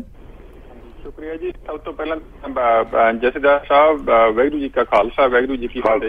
ਵਾਹਿਗੁਰੂ ਜੀ ਕੀ ਫਤਿਹ ਜੀ। ਹਾਂਜੀ ਜਥੇਦਾਰ ਸਾਹਿਬ ਪਹਿਲੀ ਗੱਲ ਤਾਂ ਮੈਂ ਤੁਹਾਡੀ ਹਿੰਮਤ ਦੀ ਦਾਦ ਦਿੰਦਾ ਹੈਗਾ ਵੀ ਜਿਸ ਤਰ੍ਹਾਂ ਤੁਸੀਂ ਜੋ ਗੱਲਾਂ ਕਰੀਆਂ ਹੈਗੇ ਨੇ ਬਿਲਕੁਲ ਤੁਸੀਂ ਠੋਕ ਕੇ ਕਹਿੰਦੇ ਹੈਗੇ ਹੋ ਤੁਹਾਡੀ ਬਹੁਤ ਬਹੁਤ ਮੈਂ ਤੁਹਾਨੂੰ ਮੇਰੇ ਕੋਲੇ ਕੋਈ ਲਫ਼ਜ਼ ਨਹੀਂ ਹੈਗੇ ਵੀ ਜਿਸ ਤਰ੍ਹਾਂ ਮੈਂ ਬਿਆਨ ਕਰ ਸਕਾਂ ਵੀ ਦੇਖੋ ਸਿੱਖ ਹੀ ਸਿੱਖਾਂ ਦੇ ਵਿੱਚ ਕੌਮ ਦੇ ਵਿੱਚ ਤੁਹਾਡੇ ਵਰਗੇ ਸੂਰਮੇ ਵੀ ਹਲੇ ਬੈਠੇ ਹੈਗੇ ਨੇ ਜਿਹੜੇ ਇਹਨਾਂ ਲੋਕਾਂ ਨੂੰ ਚੈਲੰਜ ਕਰ ਸਕਦੇ ਹੈਗੇ ਨੇ ਉਸ ਦੇ ਨਾਲ ਹੀ। ਮੇਰਾ ਕੁਐਸਚਨ ਇਹ ਹੈਗਾ ਜੀ ਇਹ ਦੇ ਤਿੰਨ ਕੁਐਸਚਨ ਹੈਗੇ ਇਹਨੂੰ ਮੈਂ ਡਿਵਾਈਡ ਕਰਿਆ ਹੈਗਾ। ਉਹਦੇ ਵਿੱਚ ਪਹਿਲੀ ਗੱਲ ਤਾਂ ਇਹ ਹੈਗੀ ਹੈ ਵੀ ਜਦੋਂ ਜਿਹੜੀ ਐਸਜੀਪੀਸੀ ਹੋਣ ਦੇ ਵਿੱਚ ਕਿਉਂ ਆਈ ਤੇ ਐਸਜੀਪੀਸੀ ਹੋਣ ਦੇ ਵਿੱਚ ਆਈ ਹੈਗੀ ਸੀ ਫਿਰ ਇਹ ਡੇਰਾਵਾਦ ਦਾ ਜਿਹੜਾ ਵਧਾਵਾ ਹੈਗਾ ਇਹ ਐਸਜੀਪੀਸੀ ਦੀਆਂ ਨਲਾਇਕੀਆਂ ਦੀ ਵਜ੍ਹਾ ਕਰਕੇ ਲੋਕੀ ਹੈਗੇ ਇਹਨਾਂ ਤੋਂ ਦੂਰ ਹੁੰਦੇ ਜਾਂਦੇ ਹੈਗੇ ਨੇ ਤੇ ਡੇਰਾਵਾਦ ਦਾ ਤਾਂ ਹੀ ਪੰਜਾਬ ਦੇ ਵਿੱਚ ਵਧਾਵਾ ਹੋ ਰਿਹਾ ਹੈਗਾ। ਤੁਸੀਂ ਇਹਦੇ ਨਾਲ ਐਡਮਿ ਇਹ- ਇਹਦੇ ਨਾਲ ਐਗਰੀ ਕਰਦੇ ਹੋ ਜਾਂ ਨਹੀਂ ਕਰਦੇ ਹੈਗੇ ਹੋ? ਐਸਜੀਪੀਸੀ ਕਿੱਥੇ ਫਿਰ ਹੋਗੀ ਦੈਟਸ ਨੰਬਰ 1 ਕੁਐਸਚਨ ਪਹਿਲਾ ਕੁਐਸਚਨ ਹੈ। ਦੂਜੀ ਗੱਲ ਇਹ ਦੇਖੋ ਜਦੋਂ ਸਿੱਖਾਂ ਦੀ ਪੱਗ ਦੀ ਗੱਲ ਆਉਂਦੀ ਹੈਗੀ ਹੈ ਜਦੋਂ ਕਿਤੇ ਇਟਲੀ ਦੇ ਵਿੱਚ, ਇੱਕ ਗੁਰਦੁਆਰੇ ਦੇ ਵਿੱਚ ਅਸੀਂ ਇੱਕ ਸਿੱਖ ਦੀ ਪੱਗ ਉਤਰੀ, ਤਾਂ ਜਿੰਨੇ ਅਕਾਲੀ ਦਲ ਦੇ ਸਾਰੇ ਐਮਪੀ ਹੈਗੇ ਸੀ, ਅਸੈਂਬਲੀ ਦੇ ਵਿੱਚ ਇਹਨਾਂ ਨੇ ਜਾ ਕੇ ਬਹੁਤ ਰੌਲਾ ਪਾਇਆ ਹੈਗਾ। ਹੁਣ ਪਿਛਲੇ ਹਫ਼ਤੇ ਜਦੋਂ ਸ਼ਿਕਾਰ ਦੇ ਮੇਲੇ ਤੇ ਇਹਨਾਂ ਲੋਕਾਂ ਨੇ ਇੰਨੇ ਉੱਥੇ, ਜਿਹੜੇ ਉੱਥੇ ਮੁਲਾਜ਼ਮ ਆਏ ਹੈਗੇ ਸੀ, ਮੁਜ਼ਾਹਰਾ ਕਰਨ ਵਾਸਤੇ ਪੱਗਾਂ ਉਤਾਰੀਆਂ ਹੈਗੀਆਂ ਨੇ, ਉਹਨਾਂ ਦਾ ਜਵਾਬ ਇਹ ਕਿਉਂ ਨਹੀਂ ਦਿੰਦੇ ਹੈਗੇ? ਦੈਟਸ ਮਾਈ ਨੰਬਰ 2 ਕੁਐਸਚਨ ਜਿਹੜਾ ਤੀਸਰਾ ਕੁਐਸਚਨ ਹੈਗਾ ਜੇਕਰ ਇਹ ਲੋਕਾਂ ਨੂੰ ਜੇਕਰ ਕੋਈ ਵੀ ਹੋਰ ਕੋਈ ਬੰਦਾ ਬੋਲਦਾ ਹੈਗਾ ਤੁਸੀਂ ਵੀ ਬੋਲਦੇ ਤੇ ਕੱਲ ਨੂੰ ਕਹਿਣਗੇ ਤੁਸੀਂ ਕਾਂਗਰਸ ਦੇ ਏਜੰਟ ਹੈਗੇ ਹੋ ਜੀ। ਤਾਂ ਇਹਨਾਂ ਨੂੰ ਇਹ ਇਹ- ਇਹਨਾਂ ਲੋਕਾਂ ਤੇ ਇਹਨਾਂ ਲੋਕਾਂ ਨੂੰ ਅਕਾਲ ਅਕਾਲ ਤਖਤ ਦੇ ਉੱਤੇ ਕਿਉਂ ਨਹੀਂ ਬੁਲਾ ਕੇ ਪੁੱਛਿਆ ਜਾਂਦਾ ਹੈਗਾ? ਕੋਈ ਵੀ ਬੰਦਾ ਬੋਲਦਾ ਹੈਗਾ ਕੋਈ ਵੀ ਕੋਈ ਤਰ ਤੁਰ ਕੇ ਇਹਨੂੰ ਚੈਲੰਜ ਕਰਦਾ ਹੈਗਾ ਉਹਨੂੰ ਹਮੇਸ਼ਾ ਕਹਿੰਦੇ ਹੈਗੇ ਨੇ ਵੀ ਇਹਨੂੰ ਅਕਾਲ ਤਖਤ ਤੇ ਬੁਲਾਓ ਇਹਨੂੰ ਤਨਖਾਹ ਦਿਓ। ਇਹ ਬਿਲਕੁਲ ਇੱਕ ਜਿਹਨੇ ਇਹ ਕਿਨੇ ਇਹ ਲੋਕਾਂ ਨੇ ਜਿਹੜਾ ਧਰਮ ਹੈਗਾ ਕਿ ਦੁਕਾਨਦਾਰੀ ਬਣਾ ਚੁੱਕੇ ਹੈਗੇ ਨੇ। ਜਿਵੇਂ ਤੁਸੀਂ ਕਿਹਾ ਹੈਗਾ ਤੁਹਾਡੀ ਗੱਲ ਬਿਲਕੁਲ ਠੀਕ ਹੈਗੀ ਹੈ ਤੇ ਨਾਲ ਹੀ ਕਹੇਗਾ ਵੀ ਪੰਜਾਬ ਦੇ ਵਿੱਚ ਜਿਸ ਤਰ੍ਹਾਂ ਪ੍ਰੈਸ ਨੂੰ ਕੰਟਰੋਲ ਕਰਿਆ ਗਿਆ ਹੈਗਾ, ਸਾਨੂੰ ਇਹ ਵੀ ਪਤਾ ਚੱਲਦਾ ਹੈਗਾ ਜਿਹੜੇ ਅਸੀਂ ਸਵੇਰ ਨਾਰਥ ਅਮਰੀਕਾ ਦੇ ਵਿੱਚ ਸੁਣਦੇ ਹੈਗੇ ਆ ਇਹ ਵੀ ਪਤਾ ਚੱਲਿਆ ਹੈਗਾ ਵੀ ਉਹਦੇ ਵਿੱਚ ਵੀ ਕਹਿੰਦੇ ਨੇ, ਇਹਨਾਂ ਨੇ ਬਹੁਤ ਵੱਡਾ ਘਪਲਾ ਕਰਿਆ ਗਿਆ ਹੈਗਾ, ਕਿਉਂਕਿ ਡੇ ਐਂਡ ਨਾਈਟ ਜਿਹੜੇ ਇੱਥੇ ਚੈਨਲ ਦੇ ਮਿਸਟਰ ਕਨਵਰ ਸੰਧੂ ਹੈਗੇ ਸੀ, ਅਸੀਂ ਉਹਨਾਂ ਨੂੰ ਪੁੱਛਿਆ ਹੈਗਾ ਸੀਗਾ, ਉਹਨਾਂ ਨੇ ਵੀ ਕਿਹਾ ਹੈਗਾ ਵੀ ਉਹਨਾਂ ਨੂੰ ਉਹਨਾਂ ਨੂੰ ਕਿਸ ਤਰ੍ਹਾਂ ਦੀਆਂ ਮੁਸ਼ਕਲਾਂ ਆਈਆਂ ਹੈਗੀਆਂ ਨੇ ਉਹਨਾਂ ਦੀ ਮੀਡੀਆ ਨੂੰ ਕੰਟਰੋਲ ਕਰਿਆ ਹੋਇਆ ਹੈਗਾ ਤੇ ਲਾਈਵ ਟੈਲੀਕਾਸਟ ਦੇ ਵਿੱਚੋਂ ਵੀ ਪੈਸਾ ਇਹਨਾਂ ਨੇ ਖਾਦਾ ਗਿਆ ਹੈਗਾ ਤੁਹਾਡਾ ਇਹਨਾਂ ਦੇ ਜਿਹੜੇ ਮੈਂ ਪੁੱਛੇ ਹੈਗੇ ਨੇ ਕਿ ਬਜਾਏ ਕਿ ਇਹ ਪੰਜਾਬ ਦੇ ਵਿੱਚ ਜਿਹੜੇ ਲੋਕੀ ਕੈਂਸਰ ਨਾਲ ਮਰ ਰਹੇ ਹੈਗੇ ਨੇ ਐਸਜੀਪੀਸੀ ਉਹਨਾਂ ਲਈ ਵੀ ਕੁਝ ਕਰੇ। ਇਹ ਆਪਣੇ ਆਪ ਹੀ ਇਹ ਜਾਣੀ ਕਿ ਜਿਹੜੇ ਆਪਣਾ ਉੱਥੇ ਪੈਸਾ ਲੁੱਟੀ ਜਾਂਦੇ ਹੈਗੇ ਨੇ 23 ਕਰੋੜ ਰੁਪਏ ਦਾ ਜਿਹੜਾ ਗੁਰਦੁਆਰਾ ਸਾਹਿਬ ਨੂੰ ਘਾਟਾ ਦਿਖਾ ਰਹੇ ਹੈਗੇ ਨੇ। ਤੁਹਾਡਾ ਇਹਨਾਂ ਕੁਐਸਚਨਾਂ ਬਾਰੇ ਮੇਰਾ, ਹਾਲਾਂਕਿ ਮੈਂ ਕੋਈ ਬਹੁਤ ਕੋਈ ਗੁਰਸਿੱਖ ਬੰਦਾ ਨਹੀਂ ਹੈਗਾ, ਪਰ ਮੈਂ ਇੱਕ ਸਿੱਖ ਹੋਣ ਦੇ ਨਾਤੇ ਤੁਹਾਨੂੰ ਇਹ ਇਹ ਕੁਐਸਚਨ ਕਰ ਰਿਹਾ ਹੈਗਾ। ਤੁਹਾਡੇ ਇਹਦੇ ਬਾਰੇ ਕੀ ਜਵਾਬ ਅ, ਸ- ਜਥੇਦਾਰ ਜੀ ਮੈਂ ਇਹਦੇ ਵਿੱਚ ਇੱਕ ਰਿਕੁਐਸਟ ਕਰੂੰਗਾ ਕਿਉਂਕਿ ਆਪਾਂ ਕੁਝ ਦਾ ਟਾਈਮ ਹਮੇਸ਼ਾ ਹੀ ਲਿਮਟਿਡ ਹੁੰਦਾ। ਆਪਾਂ ਆਪਣੀ ਜਿਹੜੀ ਗੱਲਬਾਤ ਆ ਬਰੀਫ ਰੱਖੀ ਤੇ ਨਾਲ ਹੀ ਮੈਂ ਜਿਹੜੇ ਸਾਡੇ ਕਾਲਰਸ ਹੈਗੇ ਉਹਨਾਂ ਨਾਲ ਵੀ ਗੱਲਬਾਤ ਕਰੂੰਗਾ ਕਿ ਆਪਣੀ ਜਿਹੜੀ ਕ- ਸਵਾਲ ਹੈਗੇ ਕਨਵਰਸੇਸ਼ਨ ਉਹ ਬਿਲਕੁਲ ਬਰੀਫ ਰੱਖੇ ਕਿਉਂਕਿ ਸਾਡੇ ਨਾਲ ਕਾਫੀ ਕਾਲਰਸ ਨੇ। ਕਰੂੰਗਾ ਜੀ ਤੇ ਆਪਾਂ ਉਹਨਾਂ ਸਾਰੇ ਨਾਲ ਗੱਲਬਾਤ। ਕਰਨ ਦੀ ਕੋਸ਼ਿਸ਼ ਕਰਾਂਗੇ। ਜੀ। ਇੱਕ ਤਾਂ ਅਹ, ਭਾਈ ਸਾਹਿਬ ਜਿਹੜਾ ਸਭ ਤੋਂ ਪਹਿਲਾਂ ਨਨਕਾਣਾ ਸਾਹਿਬ ਦੇ ਜਦੋਂ ਇਹ ਮਹੰਤਾਂ ਦਾ ਕਬਜ਼ਾ ਹੁੰਦਾ ਸੀ ਤੇ ਉਦੋਂ ਤਕਰੀਬਨ 85% ਮਹੰਤ ਠੀਕ ਵੀ ਸੀ 15% ਗਲਤ ਹੁੰਦੇ ਸੀ। ਤੇ ਉਹ ਜਦੋਂ ਨਨਕਾਣਾ ਸਾਹਿਬ ਬੀਬੀਆਂ 14 ਦੀ ਰਾਤ ਨੂੰ ਗਈਆਂ ਸੇਵਾ ਕਰਨ ਤੇ ਉਹਨਾਂ ਨੇ ਬਦਫੈਲੀ ਕੀਤੀ ਤੇ ਉਦੋਂ 4-5 ਸਿੱਖਾਂ ਦੀ ਦ੍ਰਿੜਤਾ ਦੇ ਨਾਲ ਸਾਕਾ ਨਨਕਾਣਾ ਸਾਹਿਬ ਆਇਆ ਤੇ ਜਦੋਂ ਬਾਅਦ ਕਮੇਟੀ ਬਣ ਕੇ ਅਸਾਰ ਬਣੇ ਸਿੱਖਾਂ ਨੇ ਇਹ ਕਮੇਟੀ ਬਣਾਉਣ ਲਈ ਇਸ ਕਰਕੇ ਸੋਚਿਆ ਕਿਉਂਕਿ ਇੱਥੇ ਗਰੀਬ ਸਿੱਖਾਂ ਦੇ ਨਾਲ ਮਜ਼ਾਕ ਹੁੰਦਾ ਉਹਨਾਂ ਦਾ ਪ੍ਰਸ਼ਾਦ ਨਹੀਂ ਚੜਾਇਆ ਜਾਂਦਾ ਉਹਨਾਂ ਨਾਲ ਕੁਕਰਮ ਹੁੰਦੇ ਨੇ ਤੇ। ਉਹਨਾਂ ਤੋਂ ਨਫ਼ਰਤ ਕੀਤੀ ਜਾਂਦੀ ਆ ਤੇ ਕਮੇਟੀ ਇਸ ਕਰਕੇ ਹੋਣ ਚਾਹੀ ਵੀ ਗੁਰੂ ਦੇ ਪੈਸੇ ਨੂੰ ਠੀਕ ਤਰੀਕੇ ਨਾਲ ਗੁਰੂ ਦੇ ਆਸ਼ੇ ਅਨੁਸਾਰ ਇਹ ਸਿੱਖੀ ਕਾਰਜਾਂ ਲਈ ਜਾਂ ਕੌਮੀ ਕਾਰਜਾਂ ਲਈ ਵਰਤਿਆ ਜਾਊਗਾ ਤੇ ਉਹਦਾ ਪ੍ਰਬੰਧ ਜਿਹੜਾ ਅਸੀਂ ਠੀਕ ਤਰੀਕੇ ਨਾਲ ਕਰ ਸਕੀਏ ਜੀ ਜੀ ਦੂਸਰਾ ਦੂਸਰਾ ਇਹਨਾਂ ਦਾ ਕੁਐਸਚਨ ਸੀਗਾ ਇੱਕ ਤੇ ਇਹ ਜਿਹੜਾ ਮੇਰਾ ਮੇਰੇ ਹਿਸਾਬ ਨਾਲ ਜਿਹੜਾ ਉਹਨਾਂ ਸਵਾਲ ਇਹ ਪੁੱਛਿਆ ਸੀ ਕਿ ਮੌਜੂਦਾ ਸ਼੍ਰੋਮਣੀ ਗੁਰਦੁਆਰਾ ਪ੍ਰਬੰਧਕ ਕਮੇਟੀ ਦੀ ਜਿਹੜੀ ਆਪਾਂ ਗੱਲਬਾਤ ਕਰ ਰਹੇ ਹਾਂ ਉਹ ਆਸ਼ੇ ਤੇ ਨਹੀਂ ਉਤਰ ਰਹੀ ਸੋ ਮੇਰੇ ਹਿਸਾਬ ਨਾਲ। ਤੁਸੀਂ ਜਵਾਬ ਜਿਹੜਾ ਉਹ ਤੁਸੀਂ ਪਿਛਲੇ ਗੱਲਬਾਤ ਵਿੱਚ ਮੈਂ ਦੇ ਚੁੱਕਾ ਪਰ। ਇੱਕ ਜਿਹੜੀ ਮੁੱਖ ਦੀ ਗੱਲ ਇਹ ਆ ਕਿ ਜਿਹੜਾ ਇਹਨਾਂ ਨੇ ਕਿਹਾ ਨਾ ਕਿ ਵੀ ਅਕਾਲ ਤਖਤ ਇਹਨਾਂ ਨੂੰ ਕਿਉਂ ਨਹੀਂ ਸੱਦਦੇ ਜਿਹੜੇ ਜਿਹੜੇ ਕੁਕਰਮ ਕਰ ਰਹੇ ਨੇ ਜਾਂ ਜਿਹੜੇ ਕੌਮ ਨਾਲ ਧੋਖਾ ਕਰ ਰਹੇ ਨੇ ਮੇਰਾ ਮੈਂ ਪਹਿਲਾਂ ਜਵਾਬ ਦੇ ਚੁੱਕਾ ਹਾਂ ਕਿ ਅਕਾਲ ਤਖਤ ਤੇ ਇੱਕ ਨੌਕਰਾਂ ਦੇ ਪੰਜ ਨੌਕਰਾਂ ਦੇ ਹੱਥ 'ਚ ਆਇਆ ਤੇ ਨੌਕਰ ਨਖਰਾ ਨਹੀਂ ਕਰ ਸਕਦੇ। ਜੀ ਸਾਡੀ ਜਿਹੜਾ ਸਾਡਾ ਦੁਖਾਂਤ ਆ ਹੋਇਆ ਕਿ ਪ੍ਰਬੰਧਕ ਕਮੇਟੀ ਦੇ ਐਕਟ ਦੇ ਵਿੱਚ ਜਦੋਂ ਉਪ ਨਿਯਮ ਬਣਾਏ ਉਦੋਂ ਹੈਡ ਗ੍ਰੰਥੀ ਦਰਬਾਰ ਸਾਹਿਬ ਦੀ ਪੋਸਟ ਜਿਹੜੀ ਗੁਰੂ ਅਰਜਨ ਦੇਵ ਜੀ ਦੁਆਰਾ ਸਥਾਪਿਤ ਕੀਤੀ ਗਈ 98 ਸਾਲ ਦੇ ਬਾਬਾ ਬੁੱਢਾ ਜੀ ਨੂੰ ਥਾਪਿਆ ਗਿਆ। ਜੀ। ਉਹ ਉਹ ਅੱਜ 58 ਸਾਲ ਦਾ ਰਿਟਾਇਰ ਹੋ ਜਾਂਦਾ ਤੇ ਰਿਟਾਇਰ ਹੋਣ ਤੋਂ ਬਾਅਦ ਉਸੇ ਤਰ੍ਹਾਂ ਤਰਲੇ ਲੈਂਦਾ ਜਿਸ ਤਰ੍ਹਾਂ ਜਿਸ ਤਰ੍ਹਾਂ ਵਿਜੀਲੈਂਸ ਦੇ ਐਸਐਸਪੀ ਨੇ ਬਾਦਲ ਦੇ ਤਰਲੇ ਲਏ ਜਿੰਨੇ ਉੱਤੇ ਕੇਸ ਬਣਾਇਆ ਸੀ ਜਿਹੜਾ ਇਨਵੈਸਟੀਗੇਸ਼ਨ ਅਫਸਰ ਸੀ। ਉਸ ਬਾਦਲ ਨੇ ਉਹਨੂੰ ਨੌਕਰੀ ਵਧਾਈ ਦੋ ਤਿੰਨ ਤਿੰਨ ਵਾਰੀ ਨੌਕਰੀ ਵਧਾ ਕੇ ਸਾਰਾ ਕੇਸ ਤੋਂ ਉਹ ਮੁੱਕਰ ਗਿਆ ਇਨਵੈਸਟੀਗੇਸ਼ਨ ਅਫਸਰ ਤੇ ਸਾਰੇ ਦਾ ਸਾਰਾ ਪਾਣੀ ਫਿਰ ਗਿਆ ਉਹ ਕੇਸ ਤੇ। ਤੇ ਕਰਪਸ਼ਨ ਦੇ ਵਿੱਚ ਬਾਦਲ ਸਾਹਿਬ ਜਿਹੜੇ ਸੀ ਉਹ ਬਰੀ ਹੋ ਗਏ। ਬਾਦਲ ਸਾਹਿਬ ਕਰਪਸ਼ਨ ਚੋਂ ਜਾਣ ਨਿਕਲ ਕੇ ਜੇਲ੍ਹ ਚੋਂ ਤੇ ਗ੍ਰੰਥੀ ਅੱਗ ਭੇਟਾ ਘਰ ਅੱਗੇ ਸੋਪੇ ਲੈ ਕੇ ਖੜੇ ਹੋਣ ਇਸ ਤੋਂ ਵੱਧ ਸਾਡੀ ਬਦਕਿਸਮਤੀ ਹੋਰ ਨਹੀਂ ਹੋ ਸਕਦੀ। ਜੀ ਜੀ ਮੈਂ ਇਹ ਜਾਂ ਤੁਹਾਨੂੰ ਮੋਟਾ ਜਿਹਾ ਜਵਾਬ ਦੇਵਾਂ ਫਿਰ ਕਿਤੇ ਕੋਈ ਮੌਕਾ। ਦਿਓਗੇ ਤੇ ਖੁੱਲ ਕੇ ਵਿਸਤਾਰ ਨਾਲ ਕਰ ਇੱਕ ਹੋਰ ਜਿਹੜਾ ਚੈਨ- ਚੈਨਲ ਦੀ ਗੱਲ ਕੀਤੀ ਇਹ 2000 ਅਹ, ਸਨ ਦੇ ਵਿੱਚ ਬੀਬੀ ਜਗੀਰ ਕੌਰ ਨੇ ਐਗਰੀਮੈਂਟ ਕੀਤਾ ਸਰਕਾਰੀ ਕਾਗਜ਼ ਸਟਾਮ ਪੇਪਰ ਤੇ। ਇਤਿਹਾਸ ਕਿ ਇਹ ਇਹ ਜਿਹੜੀ ਗੁਰਬਾਣੀ ਰਿਲੇ ਹੋਣੀ ਆ ਇਹਦਾ ਇਹਦੇ ਲਈ 2.5 ਕਰੋੜ ਇਮੀਡੀਏਟਲੀ ਈਟੀਸੀ ਦਊਗੀ ਪ੍ਰਬੰਧਕ ਕਮੇਟੀ ਨੂੰ 50 ਲੱਖ ਹਰੇਕ ਸਾਲ ਦਊਗੀ।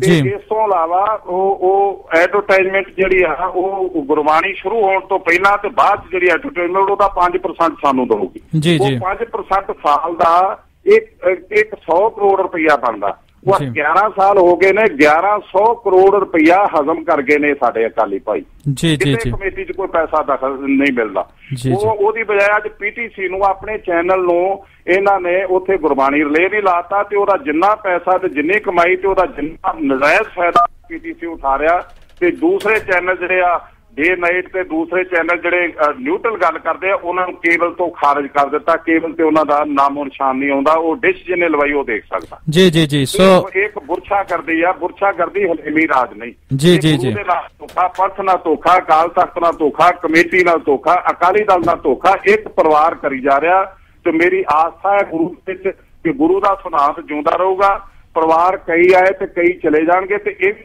ਆ ਜਾਊਗਾ ਪਰ। ਇਹ ਇਹ ਕਦੀ ਖਾਲਸਾ ਕਾਲਜ ਨੂੰ ਹੜੱਪਣ ਦੀਆਂ ਸਕੀਮਾਂ ਕਦੀ ਗੁਰੂ ਘਰ ਨੂੰ ਤੇ ਉਹਦੀਆਂ ਜ਼ਮੀਨਾਂ ਹੜੱਪਣ ਦੀਆਂ ਸਕੀਮਾਂ ਜ਼ਿਆਦਾਤਰ ਚੱਲਦੀਆਂ ਨੇ ਤੇ ਨਾ ਹੀ ਇਹ ਨਾਲ ਜਾਂਦੀਆਂ ਨੇ। ਜੀ ਜੀ ਜੀ ਜੀ। ਇਹਦੇ ਕਰਕੇ ਇਹਦੇ ਇਹਦੇ ਵਿੱਚ ਅਵੇਅਰਨੈਸ ਲਿਆਉਣ ਦੀ ਲੋੜ ਹੈ ਸਿੱਖਾਂ ਨੂੰ ਜਗਾਉਣ ਦੀ ਲੋੜ ਹੈ। ਜੀ ਜੀ ਜੀ ਸੋ ਇਹਦੇ ਨਾਲ ਹੀ ਆਪਾਂ ਚੱਲਦੇ ਆ ਨੈਕਸਟ ਕਾਲਰ ਜੋ ਕਿ ਕੇਵਲ ਸਿੰਘ ਨੇ ਬੇਕਰਸਫੀਲਡ ਤੋਂ। ਸਤਿ ਸ਼੍ਰੀ ਅਕਾਲ ਜੀ ਬਹੁਤ ਬਹੁਤ ਸਵਾਗਤ ਹੈ ਪੰਜਾਬੀ ਰੇਡੀਓ ਐਸੇ ਤੇ। ਵਾਹਿਗੁਰੂ ਜੀ ਕਾ ਖਾਲਸਾ ਵਾਹਿਗੁਰੂ ਜੀ ਵਾਹਿਗੁਰੂ ਜੀ ਕੀ ਫਤਿਹ। ਮੈਂ ਸਰਦਾਰ ਸਾਹਿਬ ਅਸੀਂ ਇੱਕ ਨਮਾਜ਼ ਜਿਹਾ ਸਿੱਖ ਪੰਜਾਬ ਦੇ ਵਿੱਚ ਸਾਡੇ ਬਜ਼ੁਰਗ ਪੰਜਾਬੀ ਸੂਬੇ 'ਚ ਵੀ ਗਏ ਆ। ਮਾਰਾ ਗਾਜੀਆ ਸਭ ਕੁਝ ਕਰਿਆ।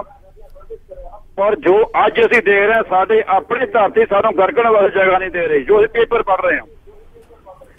ਮੇਰੀ ਇੱਕੋ ਬੇਨਤੀ ਹੈ ਕਿ ਤੁਸੀਂ ਜਿੰਨੇ ਅਕਾਲੀ ਦਲ ਬਣਾਈ ਬੈਠੇ ਹੋ ਆਪਣੇ ਸਾਰੇ ਮਤਭੇਦ ਭੁੱਲ ਕੇ ਇੱਕ ਪਲੇਟਫਾਰਮ ਤੇ ਇਕੱਠੇ ਹੋ ਤਦ ਤੁਸੀਂ ਇਸ ਬਾਦਲ ਪਰਿਵਾਰ ਨੂੰ ਕੰਟਰੋਲ ਕਰ ਸਕਦੇ ਹੋ।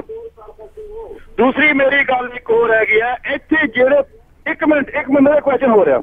ਜੀ ਜੀ। ਹਾਂਜੀ। ਹਾਂਜੀ ਪੁੱਛੋ ਜੀ। ਇੱਕ ਮੈਂ ਇੱਥੇ ਜਿਹੜੇ ਬਾਦਲ ਪਰਿਵਾਰ ਦੇ ਨਾਲ ਬੈਠੇ ਸਾਰੇ ਵੱਡੇ ਲੀਡਰ ਬਣੀ ਬੈਠੇ ਅਮਰੀਕਾ ਦੇ ਵਿੱਚ। ਮੈਂ ਉਹਨਾਂ ਨੂੰ ਪੁੱਛਣਾ ਚਾਹਨਾ ਵੀ ਤੁਸੀਂ ਕਿਆ ਪੇਪਰ ਨਹੀਂ ਪੜ੍ਹਦੇ? ਜੋ ਕੁਝ ਪੇਪਰ ਦੇ ਵਿੱਚ ਆ ਰਿਹਾ, ਤੁਸੀਂ ਕਿਉਂ ਨਹੀਂ ਬਾਦਲ ਸਾਹਿਬ ਨੂੰ ਕੁਐਸਚਨ ਕਰ ਰਹੇ? ਅਗਰ ਕੁਐਸਚਨ ਨਹੀਂ ਕਰਦੇ ਤੁਸੀਂ ਵੀ ਉਹਦੇ ਵਰਗੇ ਹੋ। ਇਹ ਮੇਰੇ ਉਹਨਾਂ ਅੱਗੇ ਅਪੀਲ ਹੈ ਕਿ ਤੁਸੀਂ ਜੋ ਕੁਝ ਬਾਦਲ ਦੇ ਪਰਿਵਾਰ ਨਾਲ ਹੋ ਰਿਹਾ, ਤੁਸੀਂ ਉਹਨਾਂ ਦੇ ਜ਼ਰੂਰ ਕੁਝ ਨਾ ਕੁਝ ਪ੍ਰੋਜੈਕਸ਼ਨ ਕਰੋ, ਤਾਂ ਕਿ ਸਾਡੀ ਕੌਮ ਬਚ ਸਕੇ। ਸਾਨੂੰ ਦੁੱਖ ਲੱਗਿਆ, ਅਸੀਂ ਕੁਰਬਾਨੀਆਂ ਦਿੱਤੀਆਂ ਹੋਈਆਂ।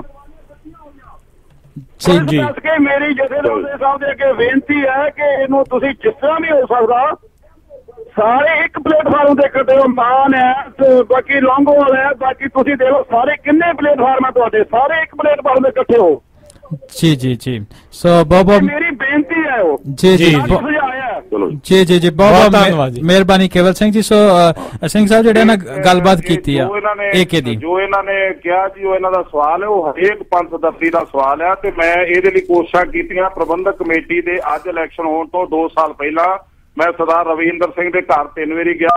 ਮੈਂ ਬਰਨਾਲਾ ਸਾਹਿਬ ਦੀ ਵਾਈਫ ਨੂੰ ਉਹਨਾਂ ਨੂੰ ਵੀ ਮਿਲਿਆ। ਫਿਰ ਮੈਂ ਮਾਨ ਸਾਹਿਬ ਦੇ ਨਾਲ ਤੇ ਤੋਰੀ ਪਿਆ।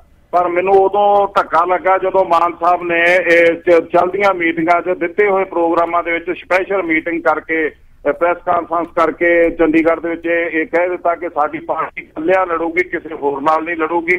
ਦੂਸਰਾ ਸਾਡੀ ਪਾਰਟੀ ਖਾਲਸਾ ਦੇ ਏਜੰਡੇ ਤੇ ਲੜੂਗੀ ਤੇ ਮੈਨੂੰ ਇਹ ਪਿੱਛੇ ਹਟਣਾ ਪਿਆ ਕਿਉਂਕਿ ਇਹਦੇ ਨਾਲ ਏਕਤਾ ਨਹੀਂ ਸੀ ਹੁੰਦੀ। ਜੀ ਦੂਸਰੀ ਗੱਲ ਜਿਹੜਾ ਦੂਸਰਾ ਉਮੀਦ ਰਹਿ ਗਈ ਸੀ ਪੰਥਕ ਮੋਰਚਾ ਬਣਨ ਦੀ ਉਹ ਸਾਡੀ ਉਮੀਦਾਂ ਤੇ ਪਾਣੀ ਫੇਰਤਾ। ਇਹ ਇਹ ਦਿੱਲੀ ਦੇ ਮਲਕ ਭਾਗੋ ਨੇ ਪਰਮਜੀਤ ਸਿੰਘ ਸਰਨਾ ਨੇ ਜਿਨੇ ਆ ਕੇ ਸਾਨੂੰ ਸਾਰਿਆਂ ਨੂੰ ਕਾਂਗਰਸੀ ਹੋਣ ਦਾ ਮੌਕਾ ਦੇ ਦਿੱਤਾ। ਤੋ ਇਹ ਬਾਦਲ ਨੂੰ ਤੇ ਚਾਹੀਦਾ ਸੀ ਵੀ ਉਹ ਆਪ ਆਪਣੀ ਬੇਟੀ ਨੂੰ ਵਿਆਹਵੇ ਤੇ ਕਾਂਗਰਸੀਆਂ ਘਰ ਤਾਂ ਵੀ ਉਹ ਕਾਲੇ ਹੀ ਰਹਿੰਦਾ ਜੇ ਪੁੱਤਰ ਨੂੰ ਵਿਆਹਵੇ ਤੇ ਉਹ ਵੀ ਗਦਾਰਾਂ ਦੇ ਘਰ ਦੇ ਤੇ ਕਾਂਗਰਸੀਆਂ ਦੇ ਕਾਂਗਰਸੀ ਟੌਟਾਂ ਦੇ ਤੇ ਅਹ, ਅੰਗਰੇਜ਼ ਟੌਟਾਂ ਦੇ ਘਰ ਤਾਂ ਵੀ ਉਹ ਅਕਾਲੀ ਰਹਿੰਦਾ ਪਰ ਸਾਡੇ ਵਰਗੇ ਸਿੱਖ ਉਮਰ ਕੈਦਾ ਕੱਟ ਕੇ ਵੀ ਸਿੱਖ ਨਹੀਂ ਬਣ ਸਕੇ। ਇਹ ਇਹ ਬਾਦਲ ਦਲ ਦੇ ਪਰਿਵਾਰ ਦੀ ਨੀਤੀ ਆ। ਤੇ ਉਹਦੇ ਚ ਉਹਨੂੰ ਫਲ ਲੱਗਾ ਤੇ ਅੱਜ ਅਸੀਂ ਇੱਕ ਕੈਂਡੀਡੇਟ ਦੇ ਮੁਕਾਬਲੇ ਇੱਕ ਦੇਣ ਦੀ ਬਜਾਏ ਤਿੰਨ ਤਿੰਨ ਮੈਂਬਰ ਜਿੱਥੇ ਖੜੇ ਹੋ ਚੁੱਕੇ ਨੇ। ਉਹਦੇ ਲਈ ਮੈਂ ਤੇ ਤੁਹਾਡੇ ਤੋਂ ਮਾਫੀ ਹੀ ਮੰਗ ਸਕਦਾ, ਪਰ ਮੈਨੂੰ ਤਰਸ ਆਉਂਦਾ ਹੈ ਸਾਡੇ ਐਂਟੀ ਪੰਥਕ ਜਿਹੜੇ ਖੋਣ ਵਾਲੇ ਐਂਟੀ ਬਾਦਲ ਖੋਣ ਵਾਲੇ ਪੰਥਕ ਲੀਡਰਾਂ ਤੇ, ਜਿਨ੍ਹਾਂ ਨੇ, ਜਿਨ੍ਹਾਂ ਦੀ ਥਾਲੀ 'ਚ ਵੀ ਕੁਝ ਨਹੀਂ ਤੇ ਫਿਰ ਉਹ ਲੜੀ ਜਾ ਰਹੇ ਨੇ ਤੇ ਇੱਕ ਦੂਸਰੇ ਦੀ ਗੱਲ ਸੁਣਨ ਨੂੰ ਤਿਆਰ ਨਹੀਂ ਅੱਜ ਮੇਰਾ ਦਾਵਾ ਹੈ ਕਿ ਜੇ ਇਕੱਠੇ ਹੋ ਜਾਂਦੇ ਪੰਥਕ ਮੋਰਚਾ, ਪੰਥਕ ਸਿੱਖਾਂ ਦੇ ਹੱਥ 'ਚ ਹੁੰਦਾ ਤੇ ਇੱਕ ਕੈਂਡੀਡੇਟ ਦੇ ਮੁਕਾਬਲੇ ਇੱਕ ਕੈਂਡੀਡੇਟ ਬਾਦਲ ਅੱਜ ਲੱਭਦਾ ਨਹੀਂ ਸੀ ਇਹਨਾਂ ਲੋਕਾਂ 'ਚ ਗੁੱਸਾ ਸੀ ਐਰਕੀ ਦੇ ਇਲੈਕਸ਼ਨ 'ਚ। ਜੀ, ਜੀ। ਆਊਟਪੁੱਟ ਸਾਨੂੰ ਅੱਜ ਨਹੀਂ ਮਿਲ ਰਹੀ। ਜੀ ਜੀ ਜੀ। ਸੋ ਆਪਾਂ ਇਹਦੇ ਨਾਲ ਹੀ ਚੱਲਦੇ ਹਾਂ ਨੈਕਸਟ ਕਾਲਰ ਦੇ ਵੱਲ ਸੁਰਿੰਦਰ ਸਿੰਘ ਗਿੱਲ ਹੋਣਾ ਦੇ ਵੱਲ। ਸੋ ਬਹੁਤ ਬਹੁਤ ਸਵਾਗਤ ਆ ਜੀ ਤੇ ਮੈਂ ਇੱਕ ਬੇਨਤੀ ਕਰੂੰਗਾ ਆਪਣੀ ਜਿਹੜੀ ਗੱਲਬਾਤ ਉਹ ਪਲੀਜ਼ ਛੋਟੀ ਰੱਖਿਓ। ਹਾਂਜੀ ਹਾਂਜੀ ਵੀਰ ਜੀ ਸਤਿ ਸ਼੍ਰੀ ਅਕਾਲ ਜੀ। ਸਤਿ ਸ਼੍ਰੀ ਅਕਾਲ ਜੀ।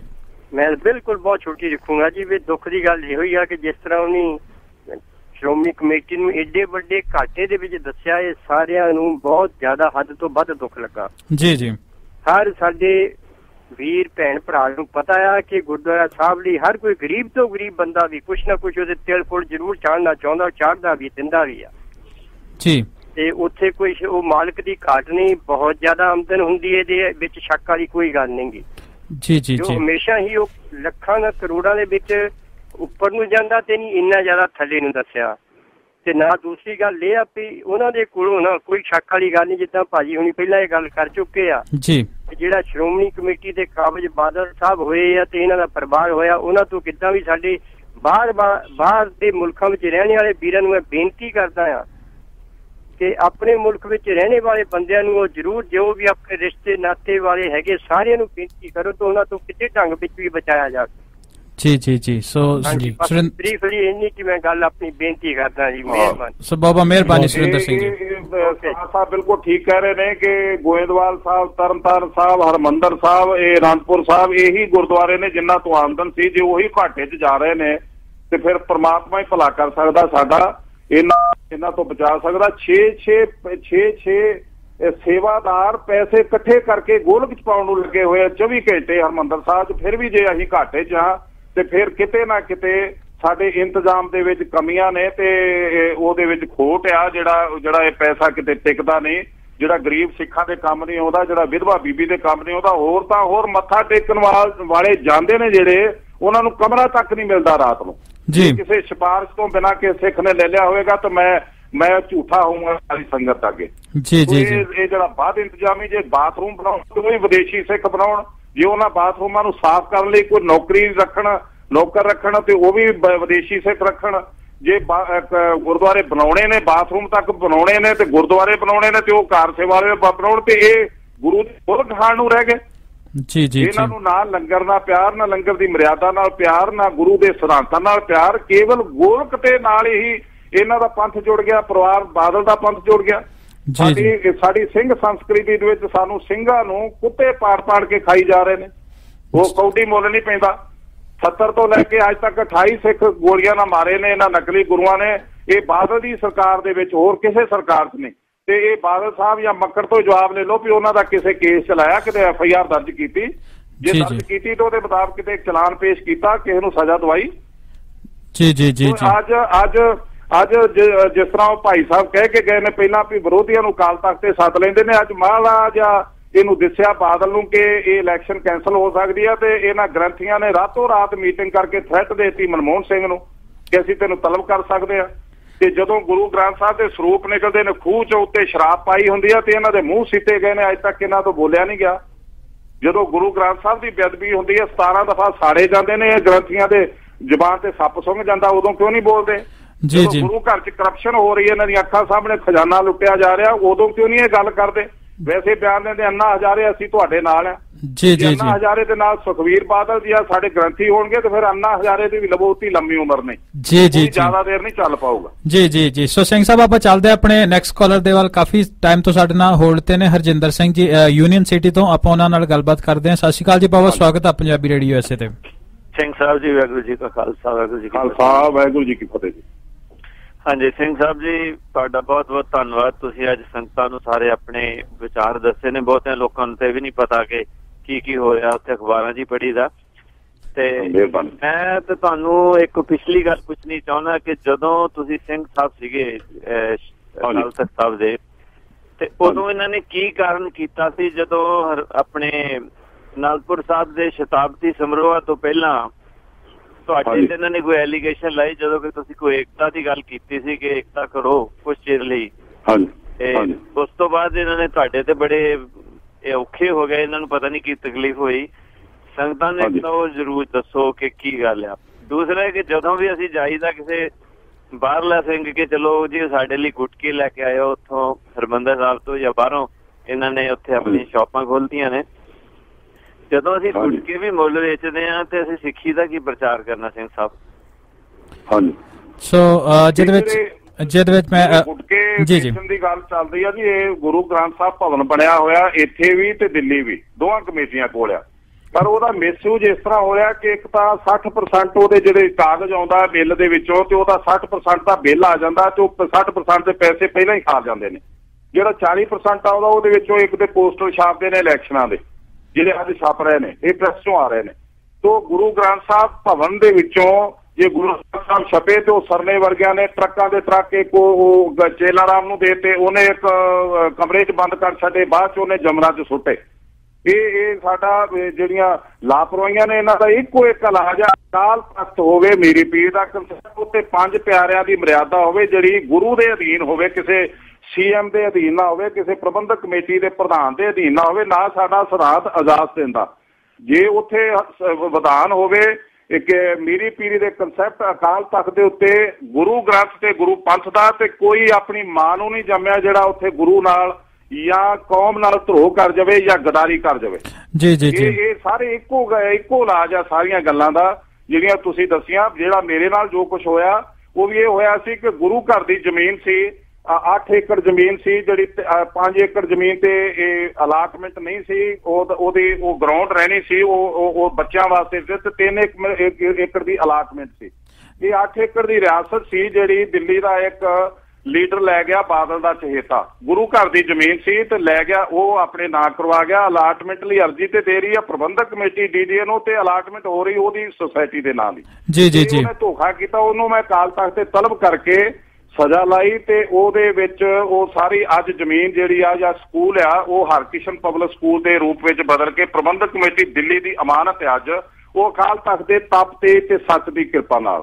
ਪਰ ਉਹਦਾ ਮੈਨੂੰ ਖਮਿਆਜਾ ਇਹ ਭਗਤ ਨੂੰ ਭੁਗਤਣਾ ਪਿਆ ਵੀ ਮੇਰੇ ਤੇ ਤਰ੍ਹਾਂ ਤਰ੍ਹਾਂ ਦੇ ਇਹਨਾਂ ਨੇ ਇਲਜ਼ਾਮ ਲਗਾਏ ਤੇ ਇਲਜ਼ਾਮ ਇਹਨੇ ਲਗਾਏ ਕਿ ਇੱਕ ਬੇਵਕੂਫ ਜਿਹਾ ਬੰਦਾ ਜਿਹੜਾ ਕੌਡੀਆਂ ਖੋਟਾ ਬੰਦਾ ਉਹਨੂੰ ਪੈਸੇ ਦੇ ਕੇ ਇਹਨਾਂ ਨੇ ਆਪਣੇ ਇੱਕ ਐਮਐਲਏ ਦਾ ਫਲੈਟ ਦਿੱਤਾ। ਉਹ ਮੇਰੇ ਖਿਲਾਫ ਜੋ ਲਿਖਤੀ ਰੂਪ 'ਚ ਬਕਵਾਸ ਕਰ ਕਰਕੇ ਲਿਖ ਲਿਖ ਕੇ ਚਿੱਠੀਆਂ ਪਵਾਈਆਂ ਉਹਨੇ ਪ੍ਰੈਸ ਨੂੰ ਦਿੱਤਾ। ਨਰਿੰਦਰ ਸਿੰਘ ਭਲੇਰ ਜਿਹੜਾ ਬਟਾਲੇ ਦਾ ਸੀ ਜਿਹੜਾ ਆਪਣੇ ਆਪ ਨੂੰ ਪੰਜਾਬੀ ਸੂਬੇ ਦਾ ਡਿਕਟੇਟਰ ਖਵਾਉਂਦਾ ਸੀ। ਥੋੜੇ ਜਿਹੇ ਪੈਸਿਆਂ ਤੇ ਵੇਖ ਕੇ ਉਹਨੇ ਮੇਰੇ ਖਿਲਾਫ ਉਹ ਭੰਡੀ ਪ੍ਰਚਾਰ ਕੀਤਾ ਇੱਕ ਪੰਜਾਬੀ ਅਖਬਾਰ ਨੇ। ਸੋ ਮੈਨੂੰ ਅਹ, ਮੈਨੂੰ ਉਹਦਾ ਕੋਈ ਗਿਲਾ ਨਹੀਂ ਕਿਉਂਕਿ ਜਦੋਂ ਤੁਸੀਂ ਕਿਸੇ ਕਰਪਸ਼ਨ ਦੇ ਵਿਰੁੱਧ ਜਾਂ ਕਿਸੇ ਕਰਪਸ਼ਨ ਕਰਨ ਵਾਲੇ ਦੇ ਵਿਰੁੱਧ ਲੜਦੇ ਹੋ ਤੇ ਉੱਥੇ ਉਹਦੇ ਉਹਦੀ ਕੀਮਤ ਦੇਣੀ ਪੈਂਦੀ ਹੈ। ਜਹਾਂਗੀਰ ਬਾਦਸ਼ਾਹ ਨੇ ਵੀ ਆਪਣੇ ਸੰਨ ਜਲੂਸ ਦੇ ਵਿੱਚ ਗੁਰੂ ਅਰਜਨ ਦੇਵ ਜੀ ਦੀ ਨਿੰਦਿਆ ਕੀਤੀ ਤੇ ਉਹਨਾਂ ਨੂੰ ਮਾੜਾ ਕਿਹਾ ਤੇ ਇਹਦਾ ਮਤਲਬ ਇਹ ਨਹੀਂ ਕਿ ਗੁਰੂ ਅਰਜਨ ਦੇਵ ਜੀ ਮਾੜੇ ਹੋ ਗਏ।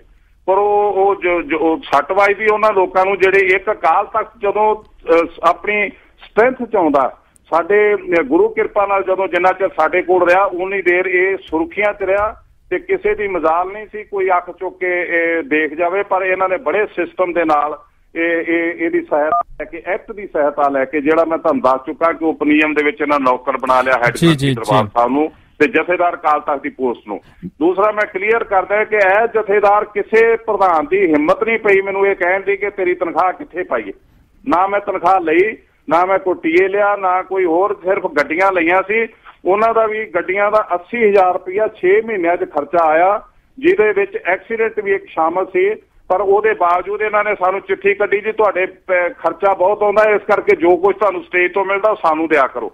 ਤੋਂ ਮੈਂ ਉਹ ਗੱਡੀਆਂ ਵਾਪਸ ਕਰ ਦਿੱਤੀਆਂ ਸੀ ਉਦੋਂ ਬਾਅਦ ਮੈਂ ਗੱਡੀ ਵੀ ਨਹੀਂ ਲਈ।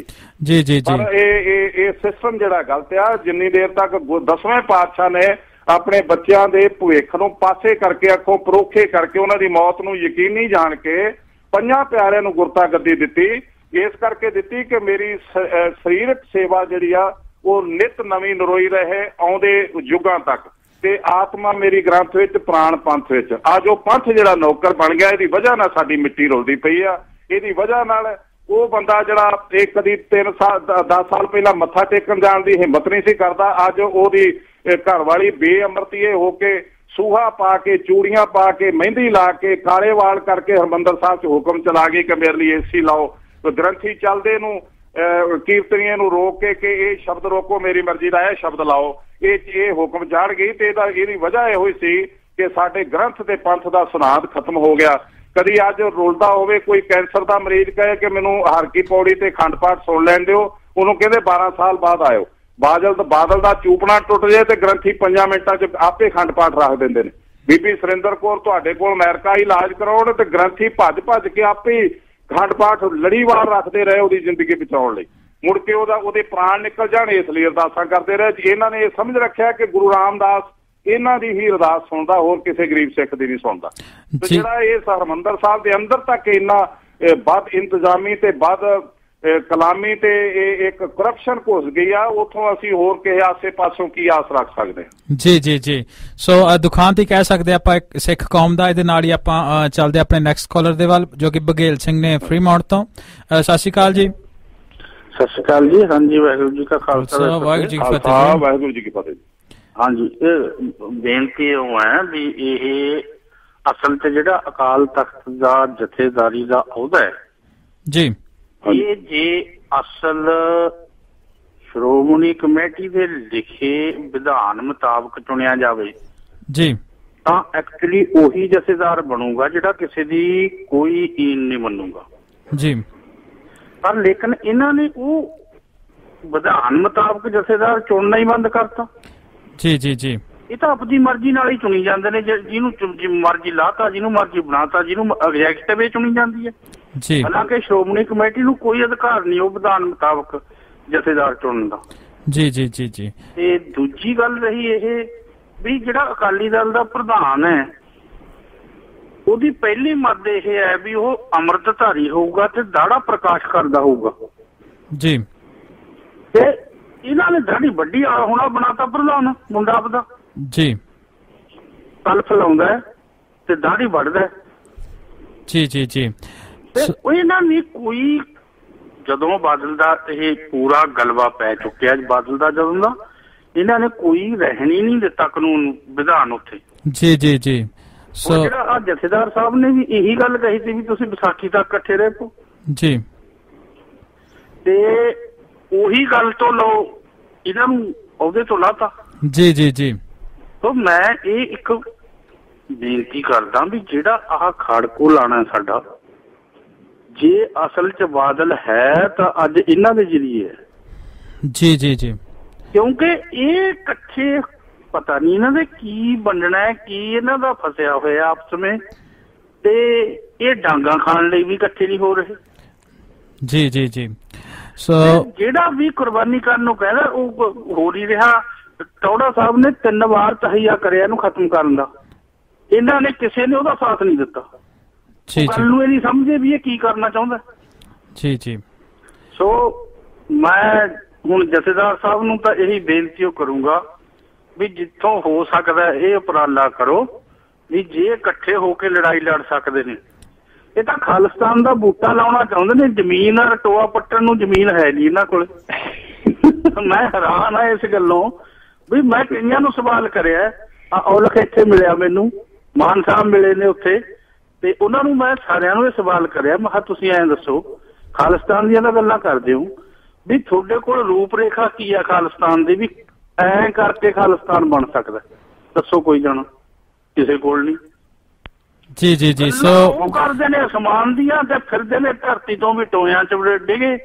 ਹੈਰਾਨੀ ਦੀ ਗੱਲ ਹੈ ਸਰ। ਜੀ ਜੀ ਜੀ ਜੀ ਸੋ ਬਗੇਲ ਸਿੰਘ ਜੀ ਕਰਦਾ ਜੀ ਜੀ। ਸਾਰੇ ਪੰਥ ਨੂੰ ਔਰ ਸਾਰੀ ਸਿੱਖ ਕੌਮ ਨੂੰ ਵੀ ਇਹੋ ਜਿਹੇ ਬਾਦਲ ਵਰਗੇ ਕਰਪਟ, ਗੰਦੇ ਇਨਸਾਨ ਦੇ ਖਿਲਾਫ ਇਕਮੁੱਠ ਹੋ ਕੇ ਆਪਦੀ ਹਉਮੈ ਤਿਆਰ ਕੇ ਕੁਰਬਾਨੀ ਕਰਕੇ ਇਕਮੁੱਠ ਹੋ ਕੇ ਲੜਨਾ ਚਾਹੀਦਾ ਔਰ ਇਹ ਕੋਈ ਗੱਲ ਨਹੀਂ, ਪੰਥ ਲਈ ਹਰਾ ਦੇਣਾ, ਭਜਾ ਦੇਣਾ, ਅੱਗੇ ਭ- ਭਜਦੇ ਆਏ ਤੇ ਭਜਾਉਂਦੇ ਆਏ।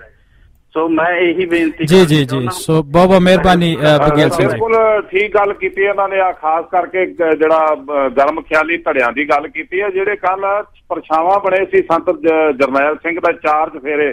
ਮਹਿਤਾ ਚਾਵਲਾ ਲੈ ਲਓ ਭਾਈ ਮਨਜੀਤ ਸਿੰਘ ਲੈ ਲਓ ਵਿਰਸਾ ਵਟੋਆ ਲੈ ਲਓ ਆਪਣਾ ਸਰਜੀਤ ਸਿੰਘ ਸੋਹ ਲੈ ਲਓ ਬਾਬਾ ਧੁਮਾ ਲੈ ਲਓ ਤਮਦਮੀ ਟਕਸਾਲ ਕਿ ਉਹ ਸਾਰੇ ਬਾਦਲ ਦੇ ਚਰਨਾਂ 'ਚ ਬੈਠੇ ਹੋਏ ਨੇ। ਜੀ। ਤੋ ਇਹ ਅੱਜ ਆਸ ਕਿਹਦੇ ਤੋਂ ਕੌਮ ਰੱਖੇ? ਜੀ ਜੀ। ਜਿਹੜੀ ਜਥੇਬੰਦੀਆਂ ਨੇ ਉਹਨਾਂ ਦੇ ਮੁਖੀ ਵਿਕ ਜਾਣ ਤੇ ਅੱਜ ਤਿੰਨ ਸੀਟਾਂ ਨਹੀਂ ਦਿੱਤੀਆਂ ਬਾਦਲ ਨੇ ਤੇ ਉਹ ਉਹ ਬਾਬਾ ਧੁਮਾ ਇਸੇ ਚ ਹੀ ਬਖੀਵਾ ਹੋ ਜਾਂਦਾ ਕਿ ਅਸੀਂ 30 ਸੀਟਾਂ ਲੈ ਲੀਆਂ ਮੈਂ 30 ਇਹਦੇ ਚੇਲੇ ਮੈਨੂੰ ਗਣਾ ਦੇਵੇ ਆਪਣੇ ਕਿ ਜ਼ਿੰਦਗੀ 'ਚ ਇਹਦੇ ਬੜੇ ਹੋਣ ਤੇ। ਇਹ 30 ਸੀਟਾਂ ਦੀ ਗੱਲ ਕਰਦਾ ਬਾਦਲ ਸਾਹਿਬ 30 ਸੀਟਾਂ ਇਹਨੂੰ ਦੇ ਦੇਣ। ਜੀ ਜੀ। ਕਿਸ ਤਰ੍ਹਾਂ ਹੋ ਸਕਦਾ? ਉਹ ਉਹ ਆਪਣੀ ਆਪਣੀ ਰਾਜਨੀਤੀ 'ਚ ਕਾਮਯਾਬ ਹੋ ਰਿਹਾ ਇਸੇ ਕਰਕੇ ਕਿਉਂਕਿ ਸਾਡੇ 'ਚ ਏਕਤਾ ਨਹੀਂ ਸਾਡੇ 'ਚ ਕੁਰਬਾਨੀ ਦੀ ਭਾਵਨਾ ਨਹੀਂ ਤਿਆਗ ਨਹੀਂ। ਸਾਡੇ 'ਚ ਈਰਖਾ ਦੀ ਕ੍ਰੋਧ ਦੀ ਕ- ਘਾਟ ਨਹੀਂ ਹੋਈ। ਅਸੀਂ ਇੱਕ ਦੂਸਰੇ ਨੂੰ ਵੇਖਣਾ ਨਹੀਂ ਚਾਹੁੰਦੇ। ਉਹ- ਉਹਦਾ ਫਾਇਦਾ ਪ੍ਰਕਾਸ਼ ਸਿੰਘ ਬਾਦਲ ਨੂੰ ਆਪਣੇ ਆਪ ਮਿਲੀ ਜਾ ਰਿਹਾ। ਜੀ ਜੀ ਜੀ। ਸੋ ਇਹਦੇ ਨਾਲ ਮੇਰਾ ਇੱਕ ਸਵਾਲ ਤੁਹਾਨੂੰ ਇਹ ਵੀ ਆ ਕਿ ਜਿਸ ਤਰ੍ਹਾਂ ਭਾਈ ਸਾਹਿਬ ਨੇ ਗੱਲਬਾਤ ਕੀਤੀ ਸਾਡੇ ਕਾਲਰ ਨੇ ਸਾਡੇ ਨਾਲ ਇਹ ਗੱਲਬਾਤ ਕੀਤੀ ਸੀ ਕਿ ਸ਼੍ਰੋਮਣੀ ਗੁਰਦੁਆਰਾ ਪ੍ਰਬੰਧਕ ਕਮੇਟੀ ਦਾ ਜਿਹੜਾ ਜਿਹੜਾ ਕਨਸਟੀਟਿਊਸ਼ਨ ਲਿਖਿਆ ਗਿਆ ਉਹਦੇ ਵਿੱਚ ਅਕਾਲ ਤਖਤ ਸਾਹਿਬ ਦੇ ਜਥੇਦਾਰੀ ਦੀ ਜਦੋਂ ਗੱਲ ਕਰਦੇ ਆ ਨੋਮੀਨੇਟ ਕਰਦੇ ਆ ਤੇ ਬੜੇ ਬਰੀਫ ਦੇ ਵਿੱਚ ਸਾਨੂੰ ਤੁ- ਸਾਡੇ ਸਰੋਤਿਆਂ ਨੂੰ ਜਾਣਕਾਰੀ ਦਿਓਗੇ ਕਿ ਉਹ- ਉਹਦੀ ਪ੍ਰੋਸੈਸ ਕੀ ਹੈਗੀ ਉਹ ਕਿਸ ਤਰ੍ਹਾਂ ਅਕਾਲ ਤਖਤ ਸਾਹਿਬ ਦਾ ਜਿਹੜਾ ਜਥੇਦਾਰ ਦੀ ਅਪਾਇੰਟਮੈਂਟ ਹੁੰਦੀ ਆ ਐਜ਼ ਪਰ ਰੂਲ ਉਹ ਨਹੀਂ ਕਿ ਜਿਹੜੇ ਅੱਜ ਤੁਸੀਂ ਅੱਜ ਤੁਸੀਂ ਕਹਿੰਦੇ ਹੋ ਨਾ ਜਦੋਂ ਸਾਬਕਾ ਜਥੇਦਾਰ ਭਾਈ ਰਣਜੀਤ ਸਿੰਘ ਸਾਬਕਾ ਜਥੇਦਾਰ ਗਿਆਨੀ ਪੂਰਨ ਸਿੰਘ ਸਾਬਕਾ ਜਥੇਦਾਰ ਭਾਈ ਮਨਜੀਤ ਸਿੰਘ। ਇਹ ਸਾਬਕਾ ਸ਼ਬਦ ਕਿੱਥੋਂ ਆਇਆ? ਕੋਈ ਕਿਸੇ ਸਿੱਖ ਦੇ ਮੂੰਹੋਂ ਤੁਸੀਂ ਸੁਣਿਆ ਸਾਬਕਾ ਜਥੇਦਾਰ ਕਾਲਪੂਤਾ ਸਿੰਘ ਸਾਬਕਾ ਹੈੱਡ ਗ੍ਰੰਥੀ ਬਾਬਾ ਬੁੱਢਾ ਜੀ? ਜੀ। ਸਾਬਕਾ ਹੈੱਡ ਗ੍ਰੰਥੀ ਭਾਈ ਮਨੀ ਸਿੰਘ ਸੁਣਿਆ ਕਦੀ ਕਿਸੇ ਦੇ ਮੂੰਹੋਂ? ਇਹ ਸਾਰਾ ਸਰਕਾਰੀ ਸਿਸਟਮ ਜਿਹੜਾ ਨਾ ਇਹ ਸਾਡੇ ਇਹ ਐਕਟ ਦੇ ਵਿੱਚ ਘੁਸ ਗਿਆ। ਜਿਹੜਾ ਐਕਟ ਬਣਿਆ ਉਹਦੇ ਵਿੱਚ ਇਹ ਉਪ ਨਿਯਮ ਜਦੋਂ ਬਣਾਏ ਉਦੋਂ ਇਹ ਨੌਕਰ ਬਣਾ ਲਏ। ਜੀ ਜੀ। ਨੌਕਰ ਕੀ ਤੇ ਨਖਰਾ ਕੀ ਮੈਂ ਗੱਲ ਮੁਕਾ ਚੁੱਕਾ ਅਗੇ। ਤੇ ਇਹ ਜਿਹੜਾ ਸਿਸਟਮ ਆ ਇਹ ਸਿਸਟਮ ਦੇ ਵਿੱਚ ਜਿਹੜਾ ਗੁਰੂ ਦਾ ਸਿਧਾਂਤ ਉਹ ਨਿਊਟਰਲ ਰਹਿਣਾ ਚਾਹੀਦਾ ਤੇ ਆਲ ਵਰਲਡ ਦੇ ਵਿੱਚੋਂ ਪੰਜ ਸਿੱਖ ਅਸੀਂ ਨਹੀਂ ਸਿਲੈਕਸ਼ਨ ਕਰਕੇ ਲੱਭ ਸਕਦੇ। ਜੀ, ਗੁਰੂ ਜੀ। ਗੋਬਿੰਦ ਸਿੰਘ ਜੀ ਨੇ 80000 ਦੇ ਇਕੱਠ 'ਚੋਂ ਸਿਰ ਮੰਗ ਕੇ ਸਿਲੈਕਸ਼ਨ ਕੀਤੀ ਸੀ। ਅੱਜ ਅਸੀਂ ਉਹਨਾਂ ਦਾ ਕਰੈਕਟਰ ਜਾਂ ਕਿਰਦਾਰ ਵੇਖ ਕੇ ਜਾਂ ਸੁਭਾਅ ਵੇਖ ਕੇ ਨਹੀਂ ਚੁਣ ਸਕਦੇ। ਜੀ ਜੀ। ਸਿਰਫ ਇਹ ਆ ਕਿ ਜਿਹੜਾ ਵੀ ਲੀਡਰ ਆਉਂਦਾ ਅਕਾਲੀ ਦਲ ਦਾ ਜਾਂ ਜਿਹੜਾ ਵੀ ਪ੍ਰਧਾਨ ਬਣਦਾ ਪ੍ਰਬੰਧਕ ਕਮੇਟੀ ਦਾ ਉਹਦੀ ਇੱਛਾ ਹੁੰਦੀ ਆ ਵੀ ਇਹ ਮੇਰੀ ਸੇਵਾ 'ਚ ਲੱਗੇ ਰਹਿਣ ਪੰਜ ਗ੍ਰੰਥੀ ਜੋ ਮੈਂ ਹੁਕਮ ਕਰਾਂ ਉਹ ਕਰਦੇ ਰਹਿਣ। ਜੀ ਜੀ ਜੀ। ਸੋ ਇਹ। ਜਿਹੜਾ ਜੋ ਕੁਝ ਵੀ ਜੋ ਕੁਝ ਵੀ ਅੱਜ ਬਾਦਲ ਦੇ ਮੂੰਹੋਂ ਨਿਕਲਦਾ ਉਹ ਰਾਤ ਨੂੰ ਗ੍ਰੰਥੀ ਪੂਰਾ ਕਰਦੇ ਨੇ। ਜੀ ਜੀ। ਸਾਡੀ ਬਦਨਸੀਬੀ ਇਹ ਸਾਡੀ ਬਦਨਸੀਬੀ ਅਸਲ 'ਚ ਭਾਵੇਂ ਪ੍ਰਬੰਧਕ ਕਮੇਟੀ ਹੀ ਨਿਯੁਕਤ ਕਰੇ ਪਰ ਉਹ ਉਹ ਜਿੰਨੀ ਦੇਰ ਤੱਕ ਉਹਦੀ ਉਮਰ ਠੀਕ ਹੈ ਉਹਦੀ ਅਵਸਥਾ ਠੀਕ ਹੈ ਉਨੀ ਦੇਰ ਤੱਕ ਉਹ ਸਾਬਕਾ ਬਣਦਾ ਜਾਂ ਉਹਨੂੰ ਰਿਟਾਇਰ ਕਰਨ ਦੀ ਕੋਈ ਮੱਦ ਨਾ ਹੋਵੇ ਉਹਨੂੰ ਇਹ ਜਥੇਦਾਰ ਨੂੰ ਪਤਾ ਹੋਵੇ ਕਿ ਮੈਨੂੰ ਕੋਈ ਲਾ ਨਹੀਂ ਸਕਦਾ। ਉਹਦੇ ਨਾਲ ਪੰਜਾਂ ਸਿੱਖਾਂ ਨੂੰ ਪਤਾ ਹੋਵੇ ਵੀ ਸਾਡੀ ਕੋਈ ਇਹ ਸਾਡੇ ਤੇ ਕੋਈ ਐਲੀਗੇਸ਼ਨ ਲਾ ਕੇ ਸਾਨੂੰ ਮਿੱਟੀ ਰੋਲ ਕੇ ਸਾਨੂੰ ਇੱਥੇ ਬੇਇੱਜ਼ਤ ਨਹੀਂ ਕਰ ਸਕਦੇ। ਤੇ ਮੈਂ ਮੇਰਾ ਇਹ ਦਾਵਾ ਹੈ ਕਿ ਕੋਈ ਕੋਈ ਸਿੱਖ ਆਪਣੀ ਮਾਂ ਨੂੰ ਨਹੀਂ ਜੰਮਿਆ ਜਿਹੜਾ ਅਕਾਲ ਤਖਤ ਦੇ ਅੱਗੇ ਖੜਾ ਹੋ ਕੇ ਮੁੱਕਰ ਜਾਵੇ ਜਾਂ ਗੁਰੂ ਘਰ ਨਾਲ ਜਾਂ ਕੌਮ ਨਾਲ ਧਰੋਹ ਕਰ ਜਾਵੇ ਜਾਂ ਗਦਾਰੀ ਕਰ ਜਾਵੇ। ਜੀ ਜੀ ਜੀ। ਸੋ ਇਹਦੇ ਨਾਲ ਹੀ ਮੈਂ ਆਪਣੇ ਇਸੇ ਕਰਕੇ ਸ਼ੁਰੂ ਤੋਂ ਲੈ ਕੇ ਹਰੇਕ ਸਰਕਾਰ ਨੇ ਅਕਾਲ ਤਖਤ ਨੂੰ ਆਪਣੇ ਕਬਜ਼ੇ 'ਚ ਰੱਖਣ ਲਈ ਵਿਧੀ ਬਣਾ ਕੇ ਰੱਖੀ ਆ।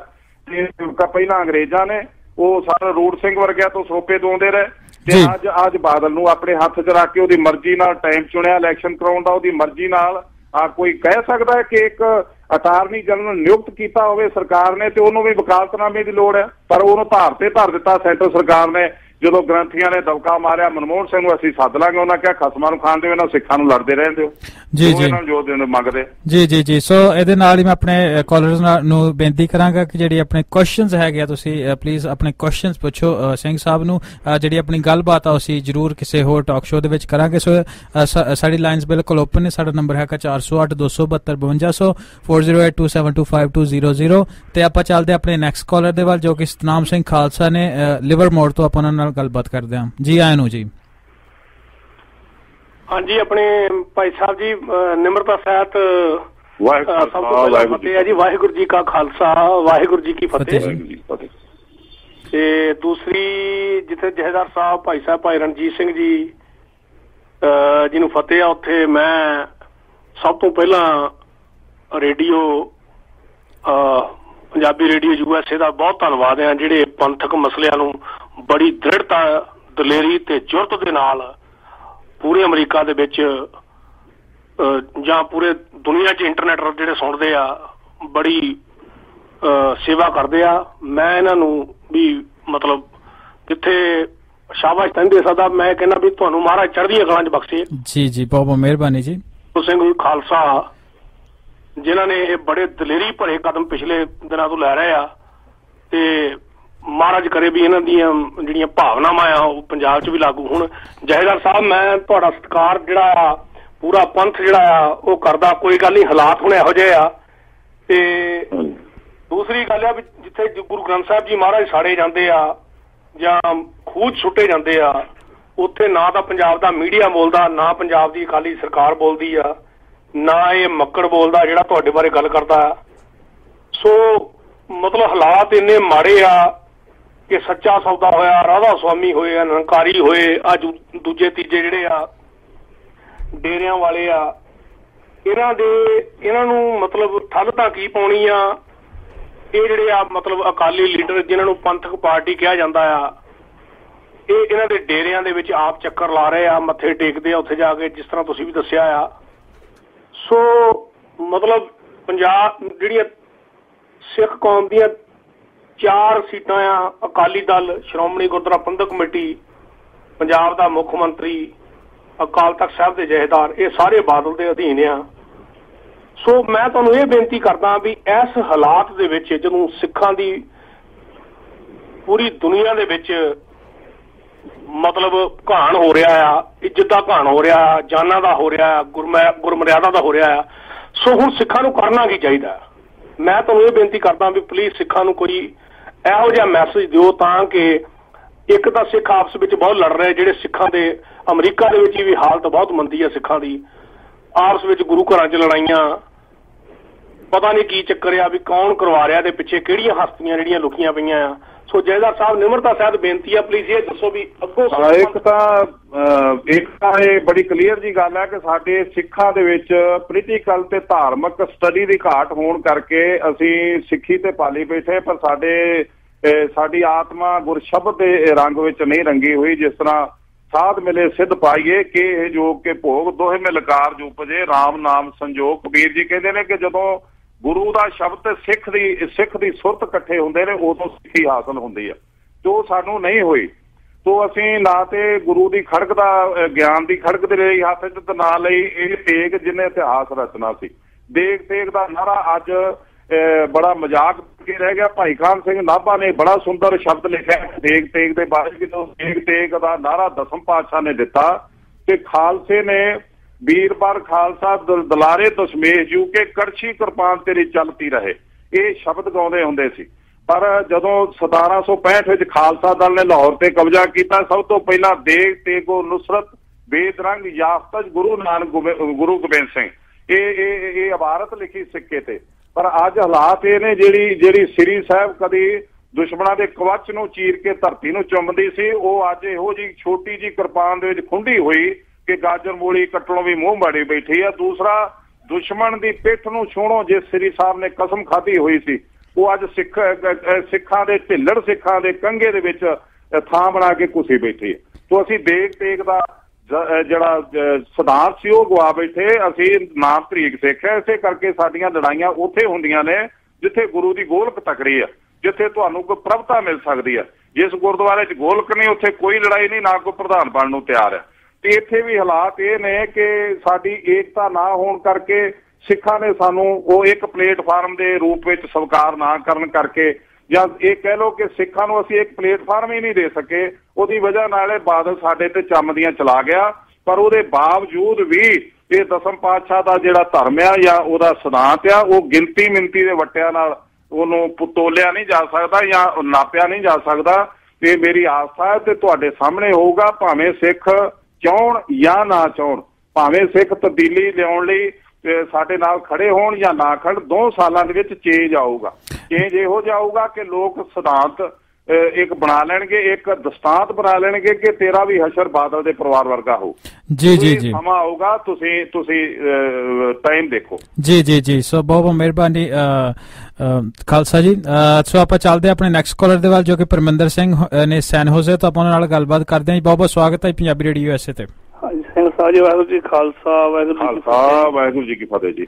ਸੋ ਆਪ ਜੀ ਨੂੰ ਮਿਲ ਕੇ ਬਹੁਤ ਖੁਸ਼ੀ ਹੋਈ ਹਾਂ, ਮਿਹਰਬਾਨੀ। ਇਹ ਮਹਿਸੂਸ ਕੀਤਾ ਕਿ ਸਾਡੇ ਪੰਜਾਬ ਦੇ ਵਿੱਚ ਵੀ ਕੋਈ ਅੱਜ ਜਿੰਦੀ ਆਤਮਾ ਮਹਿਸੂਸ ਕੀਤੀ ਗਈ ਹੈ ਹਾਂਜੀ। ਸੋ ਜਿਹੜਾ ਹਾਲ ਹੋ ਰਿਹਾ ਕਿ ਜਿਸ ਤਰ੍ਹਾਂ ਸਾਰੇ ਸਿੱਖਾਂ ਦਾ ਸਵਾਲ ਆ ਕਿ ਬਾਦਲ ਖੇਮੇ ਚੋਂ ਬਾਹਰ ਨਿਕਲਿਆ ਜਾਣਾ ਕਿਸ ਤਰ੍ਹਾਂ ਨਿਕਲਿਆ ਜਾਣਾ ਔਰ ਆਪ ਜੀ ਵਰਗੀਆਂ ਜੋ ਚੰਗੀਆਂ ਆਤਮਾਵਾਂ ਨੇ ਉਹ ਉਹਨਾਂ ਦੀ ਆਵਾਜ਼ ਗੁਰਸਿੱਖਾਂ ਤੱਕ ਜਿਹੜੀ ਪਹੁੰਚਾਉਣੀ ਹੈ ਕਿਉਂਕਿ ਇੱਥੇ ਜਿਹੜਾ ਮੀਡੀਆ ਪੰਜਾਬ ਦੇ ਵਿੱਚ ਇੰਨਾ ਕਮਜ਼ੋਰ ਹੋ ਚੁੱਕਾ ਆ ਇਹ ਚੰਗੀ ਆਤਮਾ ਦੀ ਆਵਾਜ਼ ਜਿਹੜੀ ਆ ਇਹ ਸਿੱਖਾਂ ਤੱਕ ਨਹੀਂ ਪਹੁੰਚਾ ਸਕਦਾ ਜਿਹਦੇ ਨਾਲ ਸਿੱਖ ਜਿਹੜੇ ਨੇ ਉਹ ਜਿੰਦਾ ਦਿਲੀ ਹੋ ਸਕਣ। ਸੋ ਮੈਂ ਇਹੀ ਅਹ, ਚਾਹੁੰਦਾ ਕਿ ਕਿਸੇ ਨਾ ਕਿਸੇ ਤਰ੍ਹਾਂ ਜਿਹੜੀ ਤੁਹਾਡੀ ਆਵਾਜ਼ ਆ ਉਹ ਗੁਰਸਿੱਖਾਂ ਤੱਕ ਪਹੁੰਚਾਈ ਜਾਵੇ। ਕਿਉਂਕਿ। ਇੰਨੀ ਦਲੇਰੀ ਵਾਲੀ ਆਵਾਜ਼ ਅੱਜ ਹੀ ਮੈਂ ਸੁਣੀ ਹੈ ਇੱਥੇ ਕਾਫੀ ਸਮੇਂ ਬਾਅਦ। ਕਿਉਂਕਿ ਇੱਥੇ ਲੋਕ ਜਿਹੜੇ ਨੇ ਇਹਨਾਂ ਨੂੰ ਇਹਨਾਂ ਦਬਾਇਆ ਜਾ ਚੁੱਕਿਆ ਹੈ ਕਿ ਇਹ ਉੱਚੀ ਬੋਲ ਹੀ ਨਹੀਂ ਸਕਦੇ। ਆਪਣੀ ਆਵਾਜ਼ ਜਿਹੜੀ ਆ ਇਹ ਬੋਲ ਹੀ ਨਹੀਂ ਸਕਦੇ ਕਿ ਸਾਨੂੰ ਆ ਅਸੀਂ ਕਰਨਾ ਚਾਹੁੰਦੇ ਆ ਤੇ ਇਹਨਾਂ ਦੀ ਆਵਾਜ਼ ਜਿਹੜੀ ਗੁੰਮ ਹੋਈ ਆ ਇਹ ਇਸ ਤਰ੍ਹਾਂ ਨਿਕਲ ਸਕਦੀ ਆ ਕਿ ਇਹਨਾਂ ਨੂੰ ਹਲੂਣਿਆ ਜਾਵੇ। ਤੇ ਇਹਨਾਂ ਦਾ ਕੋਈ ਹੱਲ ਜਿਹੜਾ ਵਾ ਉਹ ਹੋ ਸਕੇ। ਸੋ ਇੱਕ ਗੱਲ ਮੈਂ ਬੇਨਤੀ ਇੱਕ ਵਾਰ ਆਪ ਜੀ ਨਾਲ ਹੋਰ ਸਾਂਝੀ ਕਰਾਂਗਾ ਕਿ ਕਾਫੀ ਸਮੇਂ ਦੀ ਗੱਲ ਆ। ਅਜੀਤ ਅਖਬਾਰ ਦੇ ਉੱਤੇ ਉਦੋਂ ਇਹ ਖਬਰ ਛਪੀ ਸੀ ਕਿ ਅਹ, ਸੁਖਬੀਰ ਸਿੰਘ ਬਾਦਲ ਰਣਜੀਤ ਐਵੀਨਿਊ ਦੇ ਵਿੱਚ ਇੱਕ ਕੋਠੀ ਵਿੱਚ ਠਹਿਰਿਆ ਹੈ ਜਿੱਥੇ ਸਿੰਘ ਸਾਹਿਬ ਨੂੰ ਮਿਲਣ ਗਏ ਕਾਲ ਤਖਤ ਤੋਂ ਸਭ ਤੋਂ ਚੱਲ ਕੇ। ਸੋ ਇਹੋ ਜਿਹੀਆਂ ਗੱਲਾਂ ਜਿਹੜੀਆਂ ਨੇ ਇਹ ਬਹੁਤ ਹੀ ਜਦੋਂ ਇਹ ਪਹੁੰਚੇ ਨੇ ਉੱਥੇ ਤੇ ਉਹਨੇ ਜਾਂਦਿਆਂ ਨੂੰ ਕਹਿੰਦੇ ਨੇ ਸ਼ਰਾਬ ਪੀਤੀ ਹੋਈ ਸੀ। ਸੋ ਸਿੰਘ ਸਾਹਿਬ ਉਹਨਾਂ ਦੇ ਨਾਲ ਵੀ ਇਹ ਮੁੜ ਕੇ ਗੱਲ ਹੋਈ ਹੈ ਅਖਬਾਰ ਵਾਲਿਆਂ ਨੇ ਕਿਹਾ ਕਿ ਤੁਸੀਂ ਉੱਥੇ ਕਿਉਂ ਗਏ? ਕਹਿੰਦੇ ਅਸੀਂ ਤੇ ਅਜਨਜੀਤ ਲੰਘਦੇ ਸੀ ਅਸੀਂ ਅਸੀਂ ਆਖਿਆ ਫਤਿਹ ਸਾਂਝੀ ਕਰ ਜਾਈਏ। ਹਾਂ ਜਾਂ ਉਹ ਗਿਆ ਹਾਜ਼ਰੀ ਲਵਾਉਣ ਸੀ। ਹਾਂਜੀ ਮੈਂ ਹਾਜ਼ਰੀ ਲਵਾਉਣ ਗਿਆ ਸੀ। ਸੋ ਇਹੋ ਜਿਹੀਆਂ ਗੱਲਾਂ ਜਿਹੜੀਆਂ ਨੇ ਇਹ ਕਾਲ ਤਖਤ ਦੇ ਐਡੇ ਵੱਡੇ ਅਹੁਦੇ ਦੇ ਉੱਤੇ ਜਦੋਂ ਸਾਨੂੰ ਸੋਭਨੀਕ ਨਹੀਂ ਹੁੰਦੀਆਂ। ਸੋ ਇਹ ਜੀ ਜੀ ਜੀ ਬਹੁਤ ਬਹੁਤ ਮਿਹਰਬਾਨੀ। ਸੋ ਮੈਂ ਜਥੇਦਾਰ ਜੀ ਤੁਹਾਡੇ ਕਮੈਂਟਸ ਜਿਹੜੇ ਇਹਦੇ ਉੱਪਰ ਜਰੂਰ ਤੁਹਾਡੇ ਵਿਚਾਰ ਜਰੂਰ ਜਾਣਨਾ ਜਾਣਨਾ ਚਾਹਾਂਗਾ। ਹਾਂ ਮੈਂ ਤਕਰੀਬਨ ਆਪਾਂ ਸਾਰੀਆਂ ਗੱਲਾਂ ਡਿਸਕਸ ਕਰ ਚੁੱਕੇ ਆ ਵੀ ਜਦੋਂ ਮੈਂ ਆਪ ਅਕਾਲ ਤਖਤ ਦਾ ਜਥੇਦਾਰ ਸੀ ਉਦੋਂ ਮੈਂ ਨਾ ਕਦੀ ਬਾਸ ਦੇ ਘਰ ਗਿਆ ਸੀ ਨਾ ਟੌੜਾ ਸਾਹਿਬ ਦੇ ਘਰ ਗਿਆ ਸੀ ਨਾ ਮੈਂ ਕਦੀ ਬਰਨਾਲਾ ਸਾਹਿਬ ਦੇ ਘਰ ਗਿਆ। ਜੀ ਜੀ। ਮੈਂ ਜਦੋਂ ਬਰਨਾ ਟੌੜਾ ਸਾਹਿਬ ਦੇ ਘਰ ਗਿਆ ਤੇ ਜ਼ਿੰਦਗੀ 'ਚ ਪਹਿਲੀ ਵਾਰੀ ਉਦੋਂ ਗਿਆ ਉਹਦੇ ਪਿੰਡ ਵਿੱਚ ਹੀ ਉਦੋਂ ਗਿਆ ਜਦੋਂ ਉਹ ਸਵਰਗਵਾਸ ਹੋ ਕੇ ਉਹਦਾ ਉਹਨਾਂ ਦਾ ਹੋ ਚੁੱਕਾ ਸੀ ਸੰਸਕਾਰ ਹੋ ਚੁੱਕਾ ਸੀ। ਉਹਦੇ ਬਾਵਜੂਦ ਬਾਦਲ ਇਹ ਸਮਝਦਾ ਹੈ ਕਿ ਮੈਂ ਟੌੜਾ ਦਾ ਵਫਾਦਾਰ ਹੈ ਤੇ ਟੌੜਾ ਸਾਹਿਬ ਸਮਝਦੇ ਮੈਂ ਬਾਦਲ ਦਾ ਵਫਾਦਾਰ ਹੈ। ਦੋਵਾਂ ਦੀ ਇਹ ਕਸ਼ਮਕਸ਼ ਦੇ ਵਿੱਚ ਜਿਹੜੀ ਹੈ ਸੀਟ ਪ੍ਰਭਾਵਿਤ ਹੋਈ। ਤੋ ਇਹ ਜਿਹੜਾ ਜਥੇਦਾਰਾਂ ਦਾ ਹਾਲ ਹੈ ਇਹ ਜਿੱਥੇ 500 ਪ- 500 ਰੁਪਏ ਦਾ ਲਫਾਫਾ ਮਿਲੇ ਉਹ ਨਹੀਂ ਛੱਡਦੇ। ਤੁਸੀਂ ਇਹ ਮਜੀਠੇ ਦੇ ਪਰਿਵਾਰ ਨੂੰ ਤੇ ਮੱਥਾ ਟੇਕਣਾ ਉਹਦਾ ਜ਼ਰੂਰੀ ਹੈ ਜੇ ਉਹਨੇ ਨੌਕਰੀ ਬਣਾਉਣੀ ਹੈ। ਇਥੋਂ। ਤੱਕ ਕਿ ਸਾਡੇ ਗ੍ਰੰਥੀ ਜਿਹੜੇ ਨੇ ਉਹ ਆਰਐਸਐਸ ਦੇ ਮੁਖੀ ਕੋਲ ਹਾਜ਼ਰੀ ਲਵਾਉਣ ਜਾਂਦੇ ਨੇ ਆਪਣੀ। ਜੀ ਜੀ। ਮੇਰੇ ਕੋਲ ਪ੍ਰੂਫ ਨੇ ਨਾਗਪੁਰ ਦੇ। ਜੀ ਜੀ ਜੀ। ਸਾਡੀ ਹਾਲਾਤ ਇਹ ਨੇ ਕਿ ਗੁਰੂ ਰਾਮਦਾਸ ਦੇ ਪੀੜੇ ਤੇ ਅੱਜ ਤੱਕ ਸਦੀਆਂ ਤੋਂ ਅੱਜ ਤੱਕ ਕਿਸੇ ਭੜਵੇ ਦੀ ਹਿੰਮਤ ਨਹੀਂ ਸੀ। ਬਹਿ ਜਵੇ ਪਰ ਆਰਐਸਐਸ ਦਾ ਇੱਕ ਕਾਰਕੁਨ ਬੈਠਾ ਇਹ ਕੱਪੜੇ ਪਾ ਕੇ ਤੇ ਉਹ ਅੱਜ ਤੱਕ ਨਹੀਂ ਸਾਨੂੰ ਕਿਸੇ ਨੇ ਕਲੀਅਰ ਕੀਤਾ ਵੀ ਇਹ ਕੌਣ ਸੀ ਤੇ ਕਾਹਦੇ ਲਈ ਆਇਆ ਤੇ ਅਸੀਂ ਇਹਦੇ ਖਿਲਾਫ ਕੀ ਕੀਤਾ। ਜੀ ਜੀ ਜੀ। ਸਾਡੀਆਂ ਸਾਡੀਆਂ ਇਹ ਇਹ ਜਿਹੜੀਆਂ ਕਮਜ਼ੋਰੀਆਂ ਨੇ ਇੱਕੋ ਇੱਕ ਇਲਾਜ ਆ ਕਿ ਅਕਾਲ ਤਖਤ ਦੇ ਉੱਤੇ ਪੰਥ ਤੇ ਗ੍ਰੰਥ ਦਾ ਰਿਸ਼ਤਾ ਤੇ ਸਿਧਾਂਤ ਜਿਹੜਾ ਦਸਮ ਪਾਤਸ਼ਾਹ ਨੇ ਅਨੰਦਪੁਰ ਸਾਹਿਬ ਦੀ ਵਿਸਾਖੀ ਸਮੇਂ ਸੰਸਥਾ ਤਿਆਰ ਕਰਕੇ ਦਿੱਤਾ ਉਹ ਸੁਸ਼ੋਭਿਤ ਹੋਵੇ ਉਹ ਕਿਸੇ ਦਾ ਮੁਹਤਾਜ ਨਾ ਹੋਵੇ। ਜੀ ਜੀ ਜੀ। ਇਹ ਇਹ ਇਹ ਸਰਕਾਰ ਦੇ ਅਧੀਨ ਨਾ ਹੋਵੇ। ਇਹ ਜਿਹੜਾ ਐਕਟ ਆ ਪ੍ਰਬੰਧਕ ਕਮੇਟੀ ਦੇ ਅਧੀਨ ਆ ਪ੍ਰਬੰਧਕ ਕਮੇਟੀ ਆ ਇਹ ਸਰਕਾਰ ਦੇ ਅਧੀਨ ਇੱਕ ਐਕਟ ਆ। ਐਕਟ ਦੇ ਅਧੀਨ ਇੱਕ ਨੌਕਰ ਬਣ ਜਵੇ ਜਦੋਂ ਤੇ ਉਹ ਕੁਦਰਤੀ ਹੈ ਕਿ ਪ੍ਰਧਾਨ ਤੇ ਕੀ ਉਹਦਾ ਪੀਏ ਵੀ ਉਹ ਤੇ ਹੁਕਮ ਚਲਾਊਗਾ। ਜੀ ਜੀ ਜੀ। ਇਹ ਇਹ- ਇਹ ਇੱਕੋ ਇੱਕ ਇਲਾਜ ਹੈ ਇਹਦਾ ਤੇ ਉਹ ਇਲਾਜ ਇਹਦਾ ਚੇਂਜ ਆ ਤੇ ਚੇਂਜ ਆਉਣੀ ਕੁਦਰਤੀ ਹੋਣ ਕਿਉਂਕਿ ਉਹ ਸਮਾਂ ਨਿਕਲ ਚੁੱਕਾ ਜਦੋਂ ਅਸੀਂ ਇਕੱਠੇ ਹੁੰਦੇ ਤੇ ਕੁਝ ਕਰ ਪਾਉਂਦੇ। ਇਹਨਾਂ ਸ- ਇਸ ਇਲੈਕਸ਼ਨਾਂ 'ਚ ਬਹੁਤ ਵੱਡਾ ਤੇ ਮਹੱਤਵਪੂਰਨ ਸਮਾਂ ਸੀ। ਜਦੋਂ ਅਸੀਂ ਇਕੱਠੇ ਹੋ ਕੇ ਇੱਕ ਪੰਥਕ ਮੋਰਚੇ ਦੇ ਰੂਪ ਵਿੱਚ ਇਹ ਇਲੈਕਸ਼ਨ ਲੜਦੇ ਕੈਂਡੀਡੇਟ ਇੱਕ ਦਾ ਮੁਕਾਬਲੇ ਇੱਕ ਹੁੰਦਾ ਤੇ ਪਰ ਇਹ ਸਵਾਰਥ ਦੀ ਰਾਜਨੀਤੀ ਨੇ, ਜਿਹੜੇ ਹੰਕਾਰ ਦੀ ਰਾਜਨੀਤੀ ਨੇ, ਇਹ ਸਾਡਾ, ਇਹ ਵੀ ਹੱਕ ਖੋਹ ਲਿਆ ਤੇ ਸਿੱਖਾਂ ਦਾ ਖੋਲਿਆ ਸਿੱਖ ਇਸ ਵੇਲੇ ਬੜੇ ਗੁੱਸੇ 'ਚ ਭਰੇ ਪੀਤੇ ਸੀਗੇ ਯਾਰ ਕਿ ਜਿਹੜੀਆਂ ਇਲੈਕਸ਼ਨਾਂ ਹੋਣੀਆਂ ਉਹ 'ਚ ਮੇਰੀ ਗੱਲ ਨੋਟ ਕਰਿਓ। ਇੱਕ ਤੇ ਕਰੋੜ ਤੋਂ ਉੱਤੇ ਸਾਡੀ ਵੋਟ ਹੈ ਬਣੀ ਹੈ 56 ਲੱਖ। ਜੀ। ਅੱਧੀ ਤੇ ਬਣੀ ਨਹੀਂ ਤੇ ਅੱਧੀ ਪੋਲ ਨਹੀਂ ਹੋਣੀ। ਉਹ। ਇੰਨੀ ਵੱਧ ਜਾਣੀ ਹੈ ਇੰਨੇ ਲੋਕ ਮਯੂਸ ਨੇ ਕਿ ਵੋਟ ਪੋਲਿੰਗ ਬੂਥ ਤੇ ਪੋਲਿੰਗ ਬਹੁਤ ਘੱਟ ਹੋਊਗੀ। ਦੂਸਰਾ ਜਿੰਨੀ ਹੋਊਗੀ ਉਹ ਜਾਲੀ ਵੋਟਾਂ ਨਾਲ ਤੇ ਸਰਕਾਰ ਆਪਣੀ ਹੋਣ ਕਰਕੇ। ਇਹ ਸੈਂਟਰ ਸਰਕਾਰ ਦੀ ਪਾਲਿਸੀ ਕਿ ਬਾਦਲ ਦੇ ਹੁੰਦਿਆਂ ਹੁੰਦਿਆਂ ਇਹ ਇਲੈਕਸ਼ਨ ਕਰਾ ਕੇ ਕਮੇਟੀ ਨੂੰ ਸੌਂਪ ਦਿਓ ਤਾਂ ਕਿ ਇਹ ਕੋਈ ਕੱਲ ਨੂੰ ਜਿਹੜਾ ਕੱਟੜਵਾਦ ਜਿਹੜਾ ਹੈ ਉਹ ਸਾਹਮਣੇ ਸਿਰ ਨਾ ਚੁੱਕ ਸਕੇ। ਹਾਲਾਂਕਿ ਇਹ ਸੈਂਟਰ ਸਾਹਿਬ ਸਰਕਾਰ ਇਸ ਭਲੇਖੇ 'ਚ ਆ ਕਿ ਜਿਹੜਾ ਆਪਣੇ ਗੁਰੂ ਦਾ ਨਹੀਂ ਬਣਿਆ ਉਹ ਤੁਹਾਡਾ ਵੀ ਨਹੀਂ ਬਣ ਸਕਦਾ। ਜੀ ਜੀ ਜੀ। ਸੋ ਮੇਰੀ ਇੱਕੋ ਇੱਕ ਬੇਨਤੀ ਹੈ ਸਾਰਿਆਂ ਨੂੰ ਹੁਣ ਮੇਰੇ ਖਿਆਲ ਕਾਫੀ ਸਮਾਂ ਹੋ ਚੁੱਕਾ ਹੈ ਉਹੀ ਸਵਾਲ ਨੇ। ਜੀ ਜੀ ਗੱਲ ਉਨੀ ਕੀ ਆ ਕਿ ਸਾਡੇ ਸਿਧਾਂਤ ਗੁਰੂ ਦੇ ਸਿਧਾਂਤ ਅਨੁਸਾਰ ਚੱਲਣਗੇ ਤੇ ਅਸੀਂ ਪ੍ਰਫੁੱਲਤ ਹੋਵਾਂਗੇ।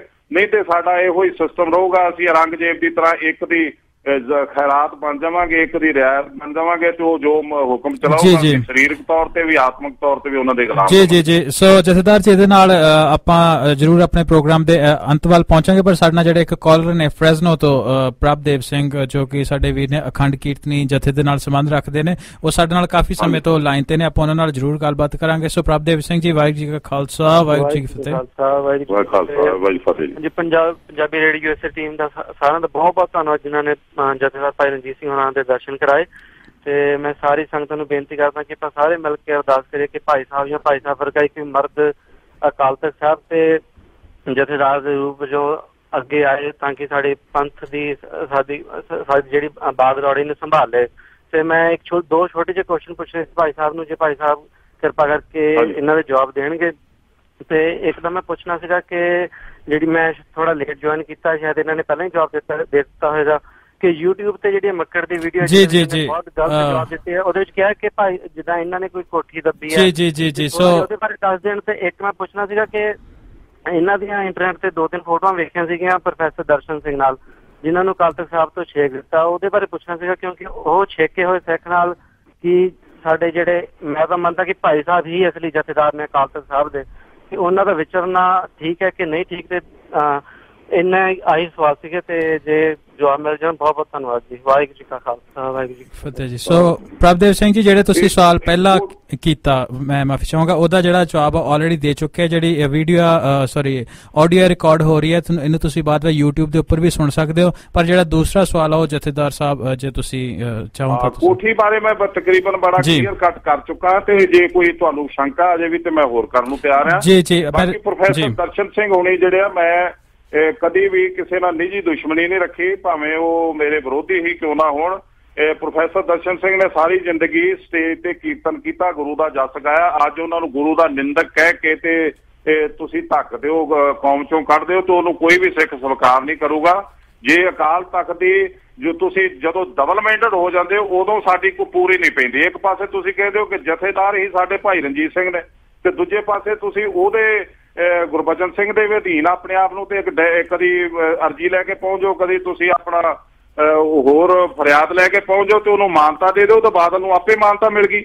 ਇਹ ਸਾਡੇ ਜਿਹੜੇ ਕਮਜ਼ੋਰ ਕਿਸਮ ਦੀ ਜਿਹੜੀ ਸਿਆਸਤ ਆ ਜਾਂ ਇਹ ਸਾਡੇ ਐਂਟੀ ਬਾਦਲ ਲੋਕ ਨੇ ਇਹਨਾਂ ਨੇ ਇਹ ਜੇ ਇਹ ਕਿਤੇ ਦ੍ਰਿੜਤਾ ਨਾ ਰਹਿ ਜਾਂਦੇ ਸਾਡਾ ਪ੍ਰੋਟੈਸਟ ਇੰਨਾ ਤਕੜਾ ਹੁੰਦਾ ਕਿ ਇਹ ਇੱਥੇ ਟਿਕ ਨਹੀਂ ਸੀ ਸਕਦਾ ਕੋਈ ਅਕਾਲ ਤਖਤ ਦੇ ਉੱਤੇ ਕੋਈ ਗ੍ਰੰਥੀ ਅਹ, ਅਕਾਲ ਤਖਤ ਦਾ ਜਹੇਦਾਰ ਬਣਨ ਨੂੰ ਤਿਆਰ ਨਾ ਹੁੰਦਾ। ਜੇ ਤੁਹਾਡੀ ਦ੍ਰਿੜਤਾ ਹੁੰਦੀ, ਤੁਸੀਂ ਡਿਵੈਲਪਮੈਂਟਡ ਜੇ ਉਧਰ ਦੀ ਵੀ ਗੱਲ ਮੰਨੀ ਜਾਂਦੇ ਤੇ ਇੱਧਰ ਦੀ ਵੀ ਕਰੀ ਜਾਂਦੇ ਤੇ ਦੋਵੇਂ ਪਾਸੇ ਰੱਖਣ ਨਾਲ ਸਾਡੀ ਧਰਤੀ ਡੁੱਬਦੀ ਜਾਂਦੀ ਹੈ। ਤੋ ਇੱਕ, ਕੋਈ ਗੁਰੂ ਘਰ ਦਾ ਨੁਕਸਾਨ ਕਰ ਰਿਹਾ ਜਾਂ ਕੋਈ ਕੱਲ ਨੂੰ ਹੁਣ ਤੁਸੀਂ ਅਖੰਡ ਕੀਰਤਨੀ ਜਥੇ ਨਾਲ ਸੰਬੰਧਿਤ ਹੋ ਤੇ ਤੁਹਾਨੂੰ ਇਹ ਕਹਿ ਦੇਣ ਜੀ ਅਸੀਂ ਤੁਹਾਨੂੰ ਪੰਜ ਤੋਂ ਛੇਕਦੇ ਆ ਤੇ ਇਹ ਕੋਈ ਗੱਲ ਨਹੀਂ ਹੈਗੀ। ਜਿਹੜੇ ਜਿਹੜੇ ਵਖਰੇਵੇਂ ਨੇ ਜਾਂ ਜਿਹੜੀ ਗੱਲ ਆ, ਉਹ ਅਕਾਲ ਤਖਤ ਤੋਂ ਗੁਰੂ ਪੰਥ ਤੇ ਗੁਰੂ ਗ੍ਰੰਥ ਨਾਲ ਕਲੀਅਰ ਹੁੰਦੀ ਆ। ਉਹ ਕਰਨ ਨਹੀਂ ਹੈਗੇ। ਜਦੋਂ ਇਹ ਅਕਾਲ ਤਖਤ ਤੇ ਪ੍ਰੋਫੈਸਰ ਦਰਸ਼ਨ ਸਿੰਘ ਗਏ, ਨਾ ਤੇ ਇਹਨਾਂ ਨੇ ਉਹਨਾਂ ਨਾਲ ਬਹਿਸ ਕਰਨ ਲਈ ਉਹਨਾਂ ਨੂੰ ਵੰਗਾਰਿਆ ਤੇ ਨਾ ਹੀ ਉਹਨਾਂ ਨੇ ਇੰਨੀ ਜੁਰਤ ਕੀਤੀ ਵੀ ਇਹਦੇ ਸਾਹਮਣੇ ਆ ਕੇ ਦਾ ਇਹਦਾ ਇਹਨੂੰ ਫੇਸ ਕਰ ਲੈਣ। ਤੋ ਸਾਰੀ ਸੰਗਤ ਦੇਖ ਰਹੀ ਸੀ ਵੀ ਇਹ ਇਹ ਸਾਬਕਾ ਜਥੇਦਾਰ ਨੇ ਤੇ ਉਹ ਤੇ ਮੌਜੂਦਾ ਜਥੇਦਾਰ ਨੇ ਤੇ ਜਦੋਂ ਇਹਨਾਂ ਦੀ ਡਿਸਕਸ ਹੋਊਗੀ, ਵਾਰਤਾ ਹੋਊਗੀ ਉਦੋਂ ਚੋਂ ਸਾਨੂੰ ਕੁਝ ਪ੍ਰਾਪਤ ਹੋਊਗਾ।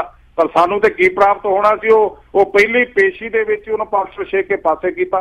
ਹਾਲਾਂਕਿ ਮਰਿਆਦਾ ਅਨੁਸਾਰ ਪਹਿਲਾਂ ਉਹ ਤੋਂ ਜਵਾਬ ਮੰਗਣਗੇ, ਲਿਖਤੀ, ਫਿਰ ਉਹਨੂੰ ਪੇਸ਼ ਹੋਣ ਲਈ ਕਹਿਣਗੇ, ਫਿਰ ਪੇਸ਼ ਹੋਣ ਤੋਂ ਬਾਅਦ ਉਹਨੂੰ ਸਮਾਂ ਦੇਣਗੇ। ਸਮਾਂ ਦੇਣ ਤੋਂ ਬਾਅਦ ਉਹ ਨਾ ਕੋਈ ਗੱਲ ਕਰੇ, ਫਿਰ ਉਹਨੂੰ ਪੰਚੋ ਛੇਕ ਸਕਦੇ। ਪਹਿਲੀ ਸੱਟੇ ਉਹਨੂੰ ਪੰਚੋ ਨਹੀਂ ਛੇਕ ਸਕਦੇ। ਪਰ ਉਹਦੇ ਬਾਵਜੂਦ ਵੀ ਮੇਰਾ ਨਾਂ ਤੇ ਉਹਨਾਂ ਨਾਲ ਕੋਈ ਵਰਤੋਂ ਵੀ ਆ ਰਿਹਾ, ਕੋਈ ਉਹਨਾਂ ਦੀ ਇੱਕ ਖੁਸ਼ੀ ਦੀ, ਉਹਨਾਂ ਦੇ ਬੇਟੇ ਨੇ ਮੈਨੂੰ ਮੈਸੇਜ ਦਿੱਤਾ ਸੀ ਕਿ ਸਾਡੇ, ਮੇਰੇ ਬੇਟੇ ਦੀ ਸ਼ਾਦੀ ਆ ਤੇ ਮੈਂ ਉਹਨਾਂ ਦੀ ਸ਼ਾਦੀ ਤੇ ਇਹ ਸਗਨ ਦੇਣ ਲਈ ਗਿਆ ਸੀਗਾ, ਉਹਦੇ ਚੋਂ ਮੈਂ ਮਨੁੱਕਰ ਨੇਗਾ। ਇਹ ਜੇ ਇਹਨਾਂ ਗ੍ਰੰਥੀਆਂ ਦੀ ਹਿੰਮਤ ਹੈ ਤੇ ਮੈਨੂੰ ਵੀ ਤਲਬ ਕਰ ਲੈਣ, ਮੈਂ ਉੱਥੇ ਜਵਾਬ ਦਊਂਗਾ ਇਹਨਾਂ ਦਾ। ਜੀ ਜੀ ਜੀ। ਸੋ ਜਥੇਦਾਰ ਜੀ ਇਹਦੇ ਨਾਲ ਸਾਡੇ ਨਾਲ ਅੱਜ ਦੇ ਸ਼ੋਅ ਦੇ ਲਾਸਟ ਕਾਲਰ ਨੇ ਜਗਦੀਸ਼ ਕੌਰ ਫ੍ਰੈਜ਼ਨੋ ਤੋਂ। ਆਪਾਂ ਉਹਨਾਂ ਨਾਲ ਗੱਲਬਾਤ ਕਰਕੇ ਆਪਾਂ ਪ੍ਰੋਗਰਾਮ ਦੇ ਅਖੀਰ ਵੱਲ ਜਾਵਾਂਗੇ। ਸੋ ਜਗਦੀਸ਼ ਕੌਰ ਜੀ ਬਹੁਤ ਬਹੁਤ ਸਵਾਗਤ ਹੈ ਪੰਜਾਬੀ ਰੇਡੀਓ ਯੂਐਸਏ ਤੇ। ਹੈਲੋ ਸਤਿ ਸ਼੍ਰੀ ਅਕਾਲ ਜੀ। ਸਤਿ ਸ਼੍ਰੀ ਅਕਾਲ ਜੀ। ਆਪਣੇ ਸਾਰੇ ਜਥੇਦਾਰ ਆਪਣੇ ਭਾਜੀ ਰਣਜੀਤ ਸਿੰਘ ਹੋਰੀ ਔਰ ਬਾਕੀ ਛੋਟੇ ਵੱਡੇ ਜਿੰਨੇ ਵੀ ਮੀਟਿੰਗ ਦੇ ਵਿੱਚ ਹਾਜ਼ਰ ਆ ਮੇਰੇ ਵੱਲੋਂ ਉਹਨਾਂ ਨੂੰ ਨਿਮਰਤਾ ਸਹਿਤ ਬਹੁਤ ਬਹੁਤ ਸਤਿ ਸ਼੍ਰੀ ਅਕਾਲ ਵਾਹਿਗੁਰੂ ਜੀ ਕਾ ਖਾਲਸਾ ਵਾਹਿਗੁਰੂ ਜੀ ਕੀ ਫਤਿਹ। ਬਾਕੀ ਭਾਜੀ ਆਪਾਂ ਗੱਲਾਂ ਸਾਰੀਆਂ ਹੀ ਸੁਣ ਲਈਆਂ। ਮੈਂ ਵੀ ਸੰਮਤੀ ਦਾ ਇਲੈਕਸ਼ਨ ਬਾਦਲ ਸਾਹਿਬ ਦੇ ਨਾਲ ਇਲੈਕਸ਼ਨ ਚ ਲੜੀ ਸੀ ਜਿੱਦਣ ਬੇਅੰਤ ਸਿੰਘ ਮੁੱਖ ਮੰਤਰੀ ਸੀ। ਜੀ। ਤੇ ਉਸ ਤੋਂ ਬਾਅਦ ਮੈਂ ਜਿੱਦਣ ਅਮਰਿੰਦਰ ਸਿੰਘ ਸੀ ਮੁੱਖ ਮੰਤਰੀ ਮੈਂ ਜ਼ਿਲ੍ਹਾ ਪ੍ਰੀਸ਼ਦ ਇਲੈਕਸ਼ਨ ਲੜੀ ਸੀ। ਸਾਰਾ ਇਲੈਕਸ਼ਨ ਮੈਂ ਆਪਣੇ ਜਣੀ ਸਿਰ ਤੇ ਲੜੀ ਸੀ। ਕੋਈ ਪਾਰਟੀ ਨੇ 1 ਰੁਪਏ ਦੀ ਹੈਲਪ ਨਹੀਂ ਸੀ ਮੇਰੀ ਕੀਤੀ। ਜੀ ਜੀ। ਔਰ ਨਾ ਹੀ ਬਾਅਦ ਦੇ ਵਿੱਚ ਇਹਨਾਂ ਨੇ ਬਾਦਲ ਸਾਹਿਬ ਨੇ ਕੋਈ ਅਧਿਕਾਰ ਦਿੱਤੇ ਸੀਗੇ। ਕੁਝ ਵੀ ਨਹੀਂ ਮਤਲਬ 8-10 ਲੱਖ ਰੁਪਈਆ ਖਰਚ ਕੇ ਬੈਠ ਕੇ ਔਰ ਚਾਹੇ ਅਧਿਕਾਰ ਦਿੱਤੇ ਜਾਂ ਨਹੀਂ ਦਿੱਤੇ ਇਹਨਾਂ ਨੇ ਤਾਂ ਮੈਂ ਜਾਣੀ ਲੋਕਾਂ ਦੀ ਹੈਲਪ ਜਿੰਨੀ ਕੀਤੀ ਵਾਹਿਗੁਰੂ ਜਾਣਦਾ।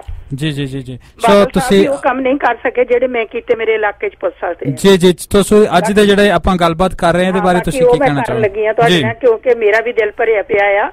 ਮੈਂ ਬਹੁਤ, ਇਹਨਾਂ ਦੀ ਸ਼ੁਕਰਗੁਜ਼ਾਰ ਆ ਭਾਜੀ ਰਣਜੀਤ ਸਿੰਘ ਦੀ ਕਿ ਅੱਗੇ ਆਇਆ ਸੁਖਦੇਵ ਸਿੰਘ ਭੌਰ ਵੀ ਉੱਥੇ ਹੁਣ ਸ਼੍ਰੋਮਣੀ ਕਮੇਟੀ 'ਚ ਆ ਜਿੱਦਣ ਉਹ ਪਹਿਲਾਂ ਆਪਣੇ ਟੋੜਾ ਸਾਹਿਬ ਨਾਲ ਸੀ ਤਾਂ ਮੈਨੂੰ ਇੱਕ ਦਿਨ ਉਹਨਾਂ ਨੇ ਕਿਹਾ ਸੀ, ਨਿਹਾ, ਉੱਥੇ ਬਾਬਾ ਜੀ ਨਿਹਾਲ ਸਿੰਘ ਦੇ ਗੁਰਦੁਆਰੇ ਹਰੀਆਂ ਵੇਲੀ ਕਿ ਕਦੀ ਆਪਣੀ ਵੀ ਵਾਰੀ ਆਊਗੀ, ਪਰ ਉਹਨਾਂ ਦੀ ਵਾਰੀ ਤਾਂ ਆ ਗਈ ਤਾਂ ਉਹ ਤਾਂ ਹੁਣ ਉੱਥੇ ਵਿੱਚ ਰਚ ਮਿਚ ਗਏ। ਕਿਸੇ ਦੀ ਮੁੜ ਕੇ ਸਾਰ ਨਹੀਂ ਲਈ। ਔਰ ਮੈਂ ਹੁਣ ਇਹ ਕਹਿਨੀ ਆ ਕਿ ਆਪਾਂ ਜਾਦੇ ਅਸੀਂ ਜੰਮੇ ਆ ਅਸੀਂ ਬਾਦਲ ਹੀ ਬਾਦਲ ਬਾਦਲ ਹੀ ਸੁਣਦੇ ਆ ਗਏ ਸਾਡੇ ਕੰਨ ਗਏ ਥੱਕ। ਔਰ ਕੁਝ ਦੁਨੀਆ ਦੀ ਅਸੀਂ ਕੋਈ ਹੈਲਪ ਹੁੰਦੀ ਨਹੀਂ ਦੇਖੀ।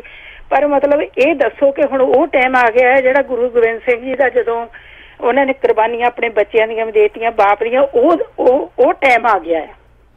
ਅਸੀਂ ਚਾਹੁੰਦੇ ਹਾਂ ਕਿ ਇਦਾਂ ਦਾ ਕੋਈ ਸਿੱਖ ਗੁਰੂ ਉੱਠੇ ਜਿਹੜਾ ਮੁੜ ਕੇ ਜਿੱਦਾਂ ਹੁਣ ਇਲੈਕਸ਼ਨ ਹੈ ਆਪਾਂ ਬੰਦ ਕਰਾ ਸਕਦੇ ਹਾਂ। ਇੱਕ ਬਾਦਲ ਕਦੀ ਨਹੀਂ ਜਿੱਤ ਸਕਦਾ ਜਦ ਇੰਨੀ ਦੁਨੀਆ ਆ ਕਿੱਦਾਂ ਇਲੈਕਸ਼ਨ ਹੋ ਜਾਣਗੇ ਧੱਕੇ ਦੇ ਨਾਲ। ਸਿਰ ਦੇਣ ਨੂੰ ਮੈਂ ਤਿਆਰ ਆ ਜੀ ਜੀ ਜੀ। ਕੁਰਬਾਨੀ ਦੇਣ ਲਈ ਮੈਂ ਤਿਆਰ ਆ ਸਿੱਖ ਉਹ ਕੱਢੋ ਜਿਹੜੇ ਕੁਰਬਾਨੀ ਦੇਣ। ਜੀ ਜੀ ਜੀ?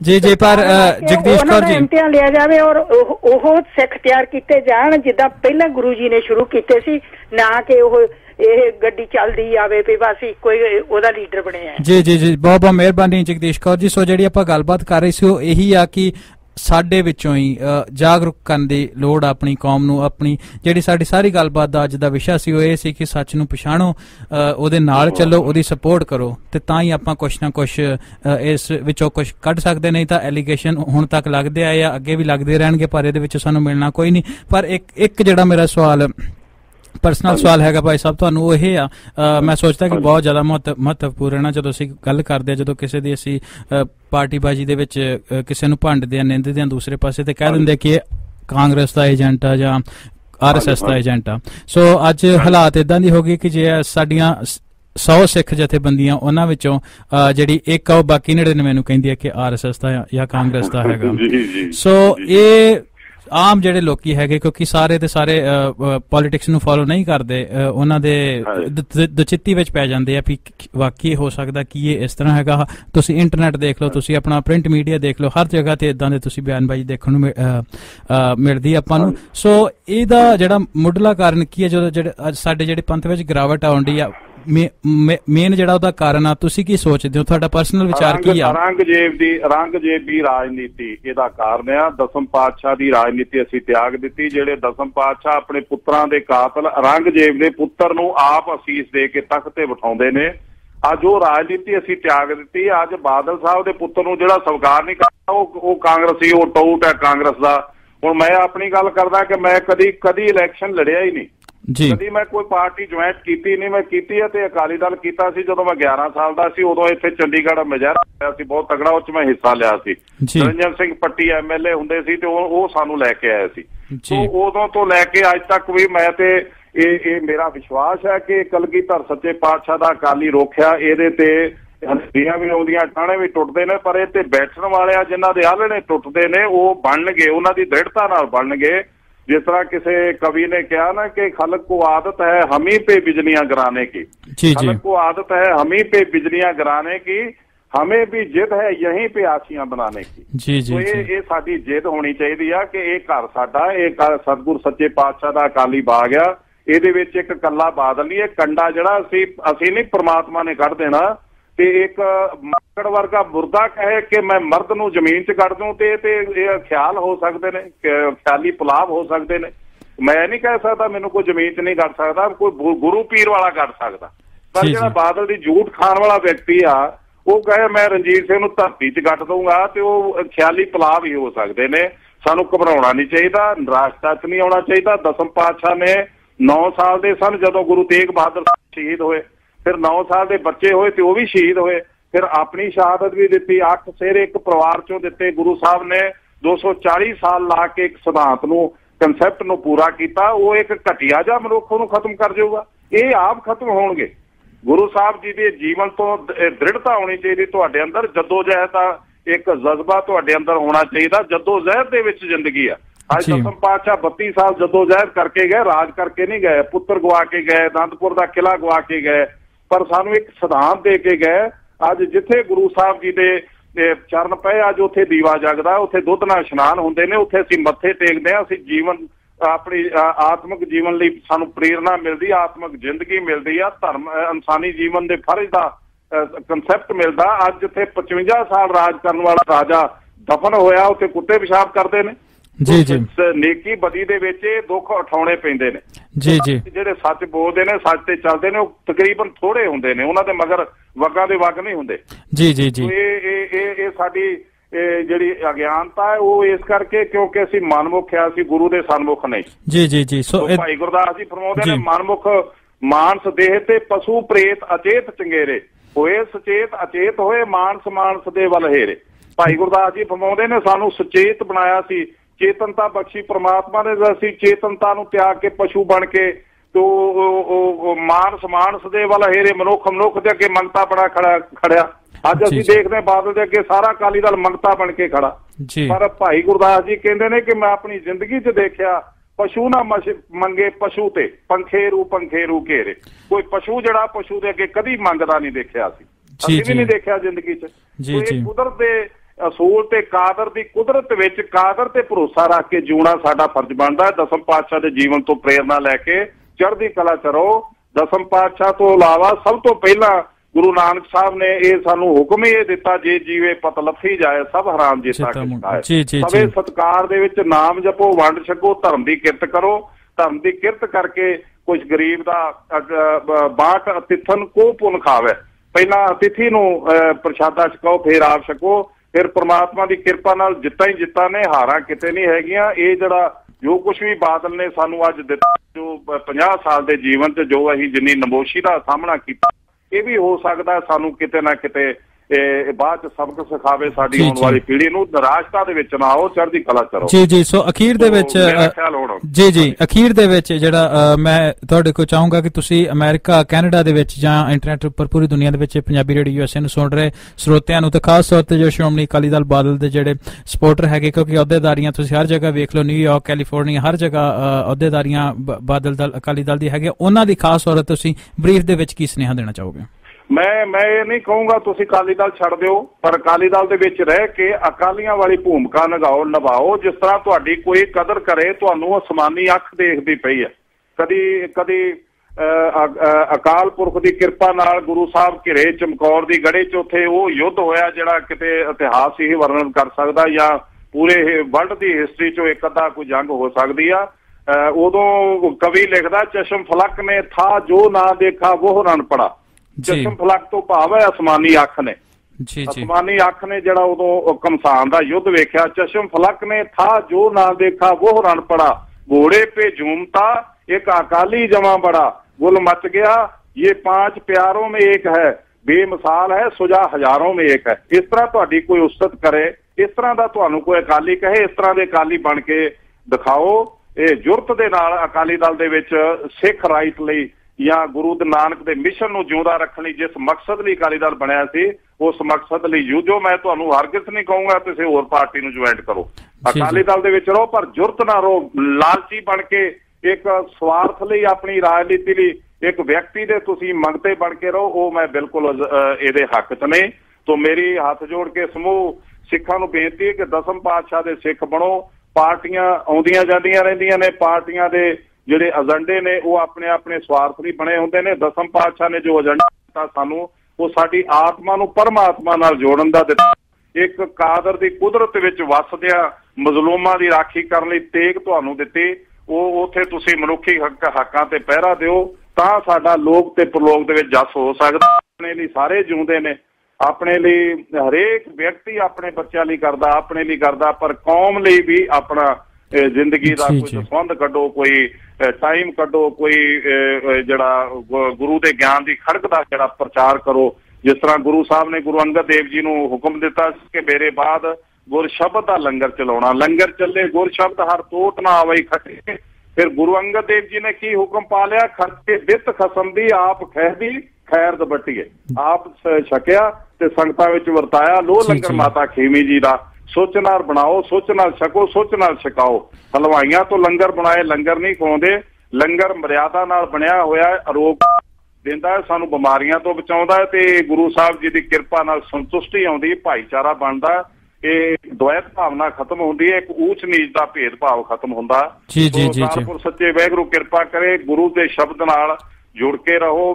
ਦਸਮ ਪਾਤਸ਼ਾਹ ਨੇ ਤੇ ਸੰ- ਤਿੰਨ ਸਿਧਾਂਤ ਦਿੱਤੇ ਨੇ ਪੂਜਾ ਕਾਲ ਕੀ ਪਰਚਾ ਸ਼ਬਦ ਕਾ ਦਰਸ਼ਨ ਖਾਲਸੇ ਜੀ, ਗੁਰੂ। ਨਾਨਕ ਸਾਹਿਬ ਨੇ ਤਿੰਨ ਸਿਧਾਂਤ ਦਿੱਤੇ ਨੇ ਨਾਮ ਜਪੋ ਧਰਮ ਦੀ ਕਿਰਤ ਕਰੋ ਤੇ ਵੰਡ ਛਕੋ। ਇਹਨਾਂ ਨੂੰ ਅਪਣਾ ਕੇ ਆਪਣਾ ਤਵਾਲਾ ਭਾਈਚਾਰੇ ਵਾਲਾ ਜੀਵਨ ਬਤੀਤ ਕਰੋ ਭੁੱਲ ਚੁੱਕ। ਲਈ ਸਮਾਜੀ ਸਮੂਹ ਦਰਸ਼ਕਾਂ ਨੂੰ ਰੇਡੀਓ ਦੇ ਨਾਲ ਜੁੜੇ ਹੋਈ ਸੰਗਤ ਨੂੰ ਤੁਹਾਡਾ ਰੇਡੀਓ ਪ੍ਰਬੰਧਕ ਜਿੰਨੇ ਵੀ ਮੇਰੇ ਵੀਰ ਨੇ ਬੀਬੀ ਜੀ ਨੇ ਇਹਨਾਂ ਦਾ ਬਹੁਤ ਬਹੁਤ ਧੰਨਵਾਦ ਤੁਹਾਡੇ ਜਰੀਏ ਮੈਂ ਇਹ ਸੰਗਤਾਂ ਦੇ ਰੂਬਰੂ ਹੋ ਸਕਿਆ ਕਾਲ ਤੋਂ ਸੱਚੇ ਵਾਹਿਗੁਰੂ ਕਿਰਪਾ ਕਰੇ ਇਹ ਜਿਸ ਤਰ੍ਹਾਂ ਕਵੀ ਨਿਹਾਲ ਸਿੰਘ ਜੀ ਨੇ ਕਿਹਾ ਕਿ ਲਾਗ ਤੇ ਦੀਵਾਨ ਰਹੇ ਗਾਵ ਤੇ ਸੁਜਾਨ ਰਹੇ ਝੂਲਤੇ ਨਿਸ਼ਾਨ ਰਹੇ ਸਾਚੇ ਪਾਤਸ਼ਾਹ ਕੇ ਇਹੋ ਜੀ ਇੱਛਾ ਦੇ ਅਨੁਸਾਰ ਫਤਿਹ ਪ੍ਰਵਾਨ ਕਰਿਓ ਜੀ ਹੁਣ ਕਿਉਂਕਿ ਮੇਰੀ ਟੀਮ ਦਾ ਟਾਈਮ ਹੋ ਗਿਆ ਮੈਂ ਲੇਟ ਹੋ ਗਿਆ। ਜੀ ਜੀ ਜੀ। ਵਾਹਿਗੁਰੂ ਜੀ ਕਾ ਖਾਲਸਾ ਵਾਹਿਗੁਰੂ ਜੀ ਕੀ ਫਤਿਹ। ਸੋ ਬਹੁਤ ਬਹੁਤ ਮਿਹਰਬਾਨੀ ਭਾਈ ਰਣਜੀਤ ਸਿੰਘ ਜੀ। ਤੁਸੀਂ ਆਪਣੇ ਕੀਮਤੀ ਸਮੇਂ ਦੇ ਵਿੱਚੋਂ ਪੰਜਾਬੀ ਰੇਡੀਓ ਯੂਐਸਏ ਦੇ ਸਰੋਤਿਆਂ ਦੇ ਲਈ ਸਮਾਂ ਕੱਢਿਆ। ਸੋ ਅਸੀਂ ਆਸ ਕਰਦੇ ਹਾਂ ਕਿ ਆਉਂਦੇ ਸਮੇਂ ਦੇ ਵਿੱਚ ਵੀ ਤੁਸੀਂ ਪੰਥ ਦੀ ਚੜ੍ਹਦੀ ਕਲਾ ਦੇ ਲਈ ਕੰਮ ਕਰਦੇ ਰਹੋਗੇ। ਪੂਰੀ ਤੁਸੀਂ ਉਮਰ ਹੀ ਇਸ ਕੰਮ ਦੇ ਵਿੱਚ ਆਪਣੀ ਬਤੀਤ ਕੀਤੀ ਹੈ। ਪ੍ਰਮਾਤਮਾ ਤੁਹਾਨੂੰ ਚੜ੍ਹਦੀ ਕਲਾ ਬਖਸ਼ੇ ਤੁਹਾਨੂੰ ਹੋਰ ਤਰੱਕੀਆਂ ਬਖਸ਼ੇ। ਸਾਡੀ ਸਾਰੀ ਪੰਜਾਬੀ ਰੇਡੀਓ ਯੂਐਸਏ ਦੇ ਟੀਮ ਵੱਲੋਂ ਤੇ ਸਾਰੇ ਸਰੋਤਿਆਂ ਦੇ ਵੱਲੋਂ ਤੁਹਾਨੂੰ ਇਹੀ ਦੁਆਵਾਂ ਨੇ। ਸੋ ਮੈਂ ਨਾਲ ਦੀ ਨਾਲ ਮਾਫੀ ਚਾਹੁੰਦਾ ਆਪਣੇ ਸਰੋਤਿਆਂ ਕੋਲੋਂ ਜਿਨ੍ਹਾਂ ਦੀ ਕਾਲਾਂ ਆਪਾਂ ਨਹੀਂ ਲੈ ਸਕੇ ਕਿਉਂਕਿ ਸਾਡੇ ਕੋਲ ਸਮੇਂ ਦੀ ਘਾਟ ਹੋ- ਘਾਟ ਸੀ। ਸੋ ਅ, ਤੁਹਾਡੇ ਜਿਹੜੇ ਵਿਚਾਰ ਆ ਉਹ ਤੁਸੀਂ ਸਾਨੂੰ ਜਰੂਰ ਸਾਡੇ ਟੈਲੀਫੋਨ ਨੰਬਰ ਉੱਤੇ ਕਾਲ ਕਰਕੇ ਦੱਸ ਸਕਦੇ 4082725200 ਸੋ ਇਹਦੇ ਨਾਲ ਹੀ ਜਿਹੜਾ ਅੱਜ ਦਾ ਪ੍ਰੋਗਰਾਮ ਆ ਉਹ ਇੱਥੇ ਅਸੀਂ ਸਮਾਪਤ ਕਰਦੇ ਹਾਂ। ਆਉਣ ਵਾਲੇ ਸਮੇਂ ਦੇ ਵਿੱਚ ਵੀ ਅਸੀਂ ਤੁਹਾਨੂੰ ਅਪਡੇਟਸ ਜੋ ਵੀ ਹੁੰਦੀਆਂ ਜਾਂ ਪੰਥਕ ਮਸਲਿਆਂ ਦੇ ਉੱਪਰ ਜੋ ਅਪਡੇਟਸ ਆਉਂਦੀਆਂ ਰਹਿਣਗੀਆਂ ਅਸੀਂ ਤੁਹਾਨੂੰ ਸਮੇਂ-ਸਮੇਂ ਦੇ ਨਾਲ ਦਿੰਦੇ ਰਵਾਂਗੇ। ਸੋ ਅੱਜ ਦੇ ਲਈ ਸਾਨੂੰ ਇਜਾਜ਼ਤ ਬਖਸ਼ੋ ਜੀ। ਵਾਹਿਗੁਰੂ ਜੀ ਕਾ ਖਾਲਸਾ। ਖਾਲਸਾ। ਵਾਹਿਗੁਰੂ ਜੀ ਕੀ ਫਤਿਹ।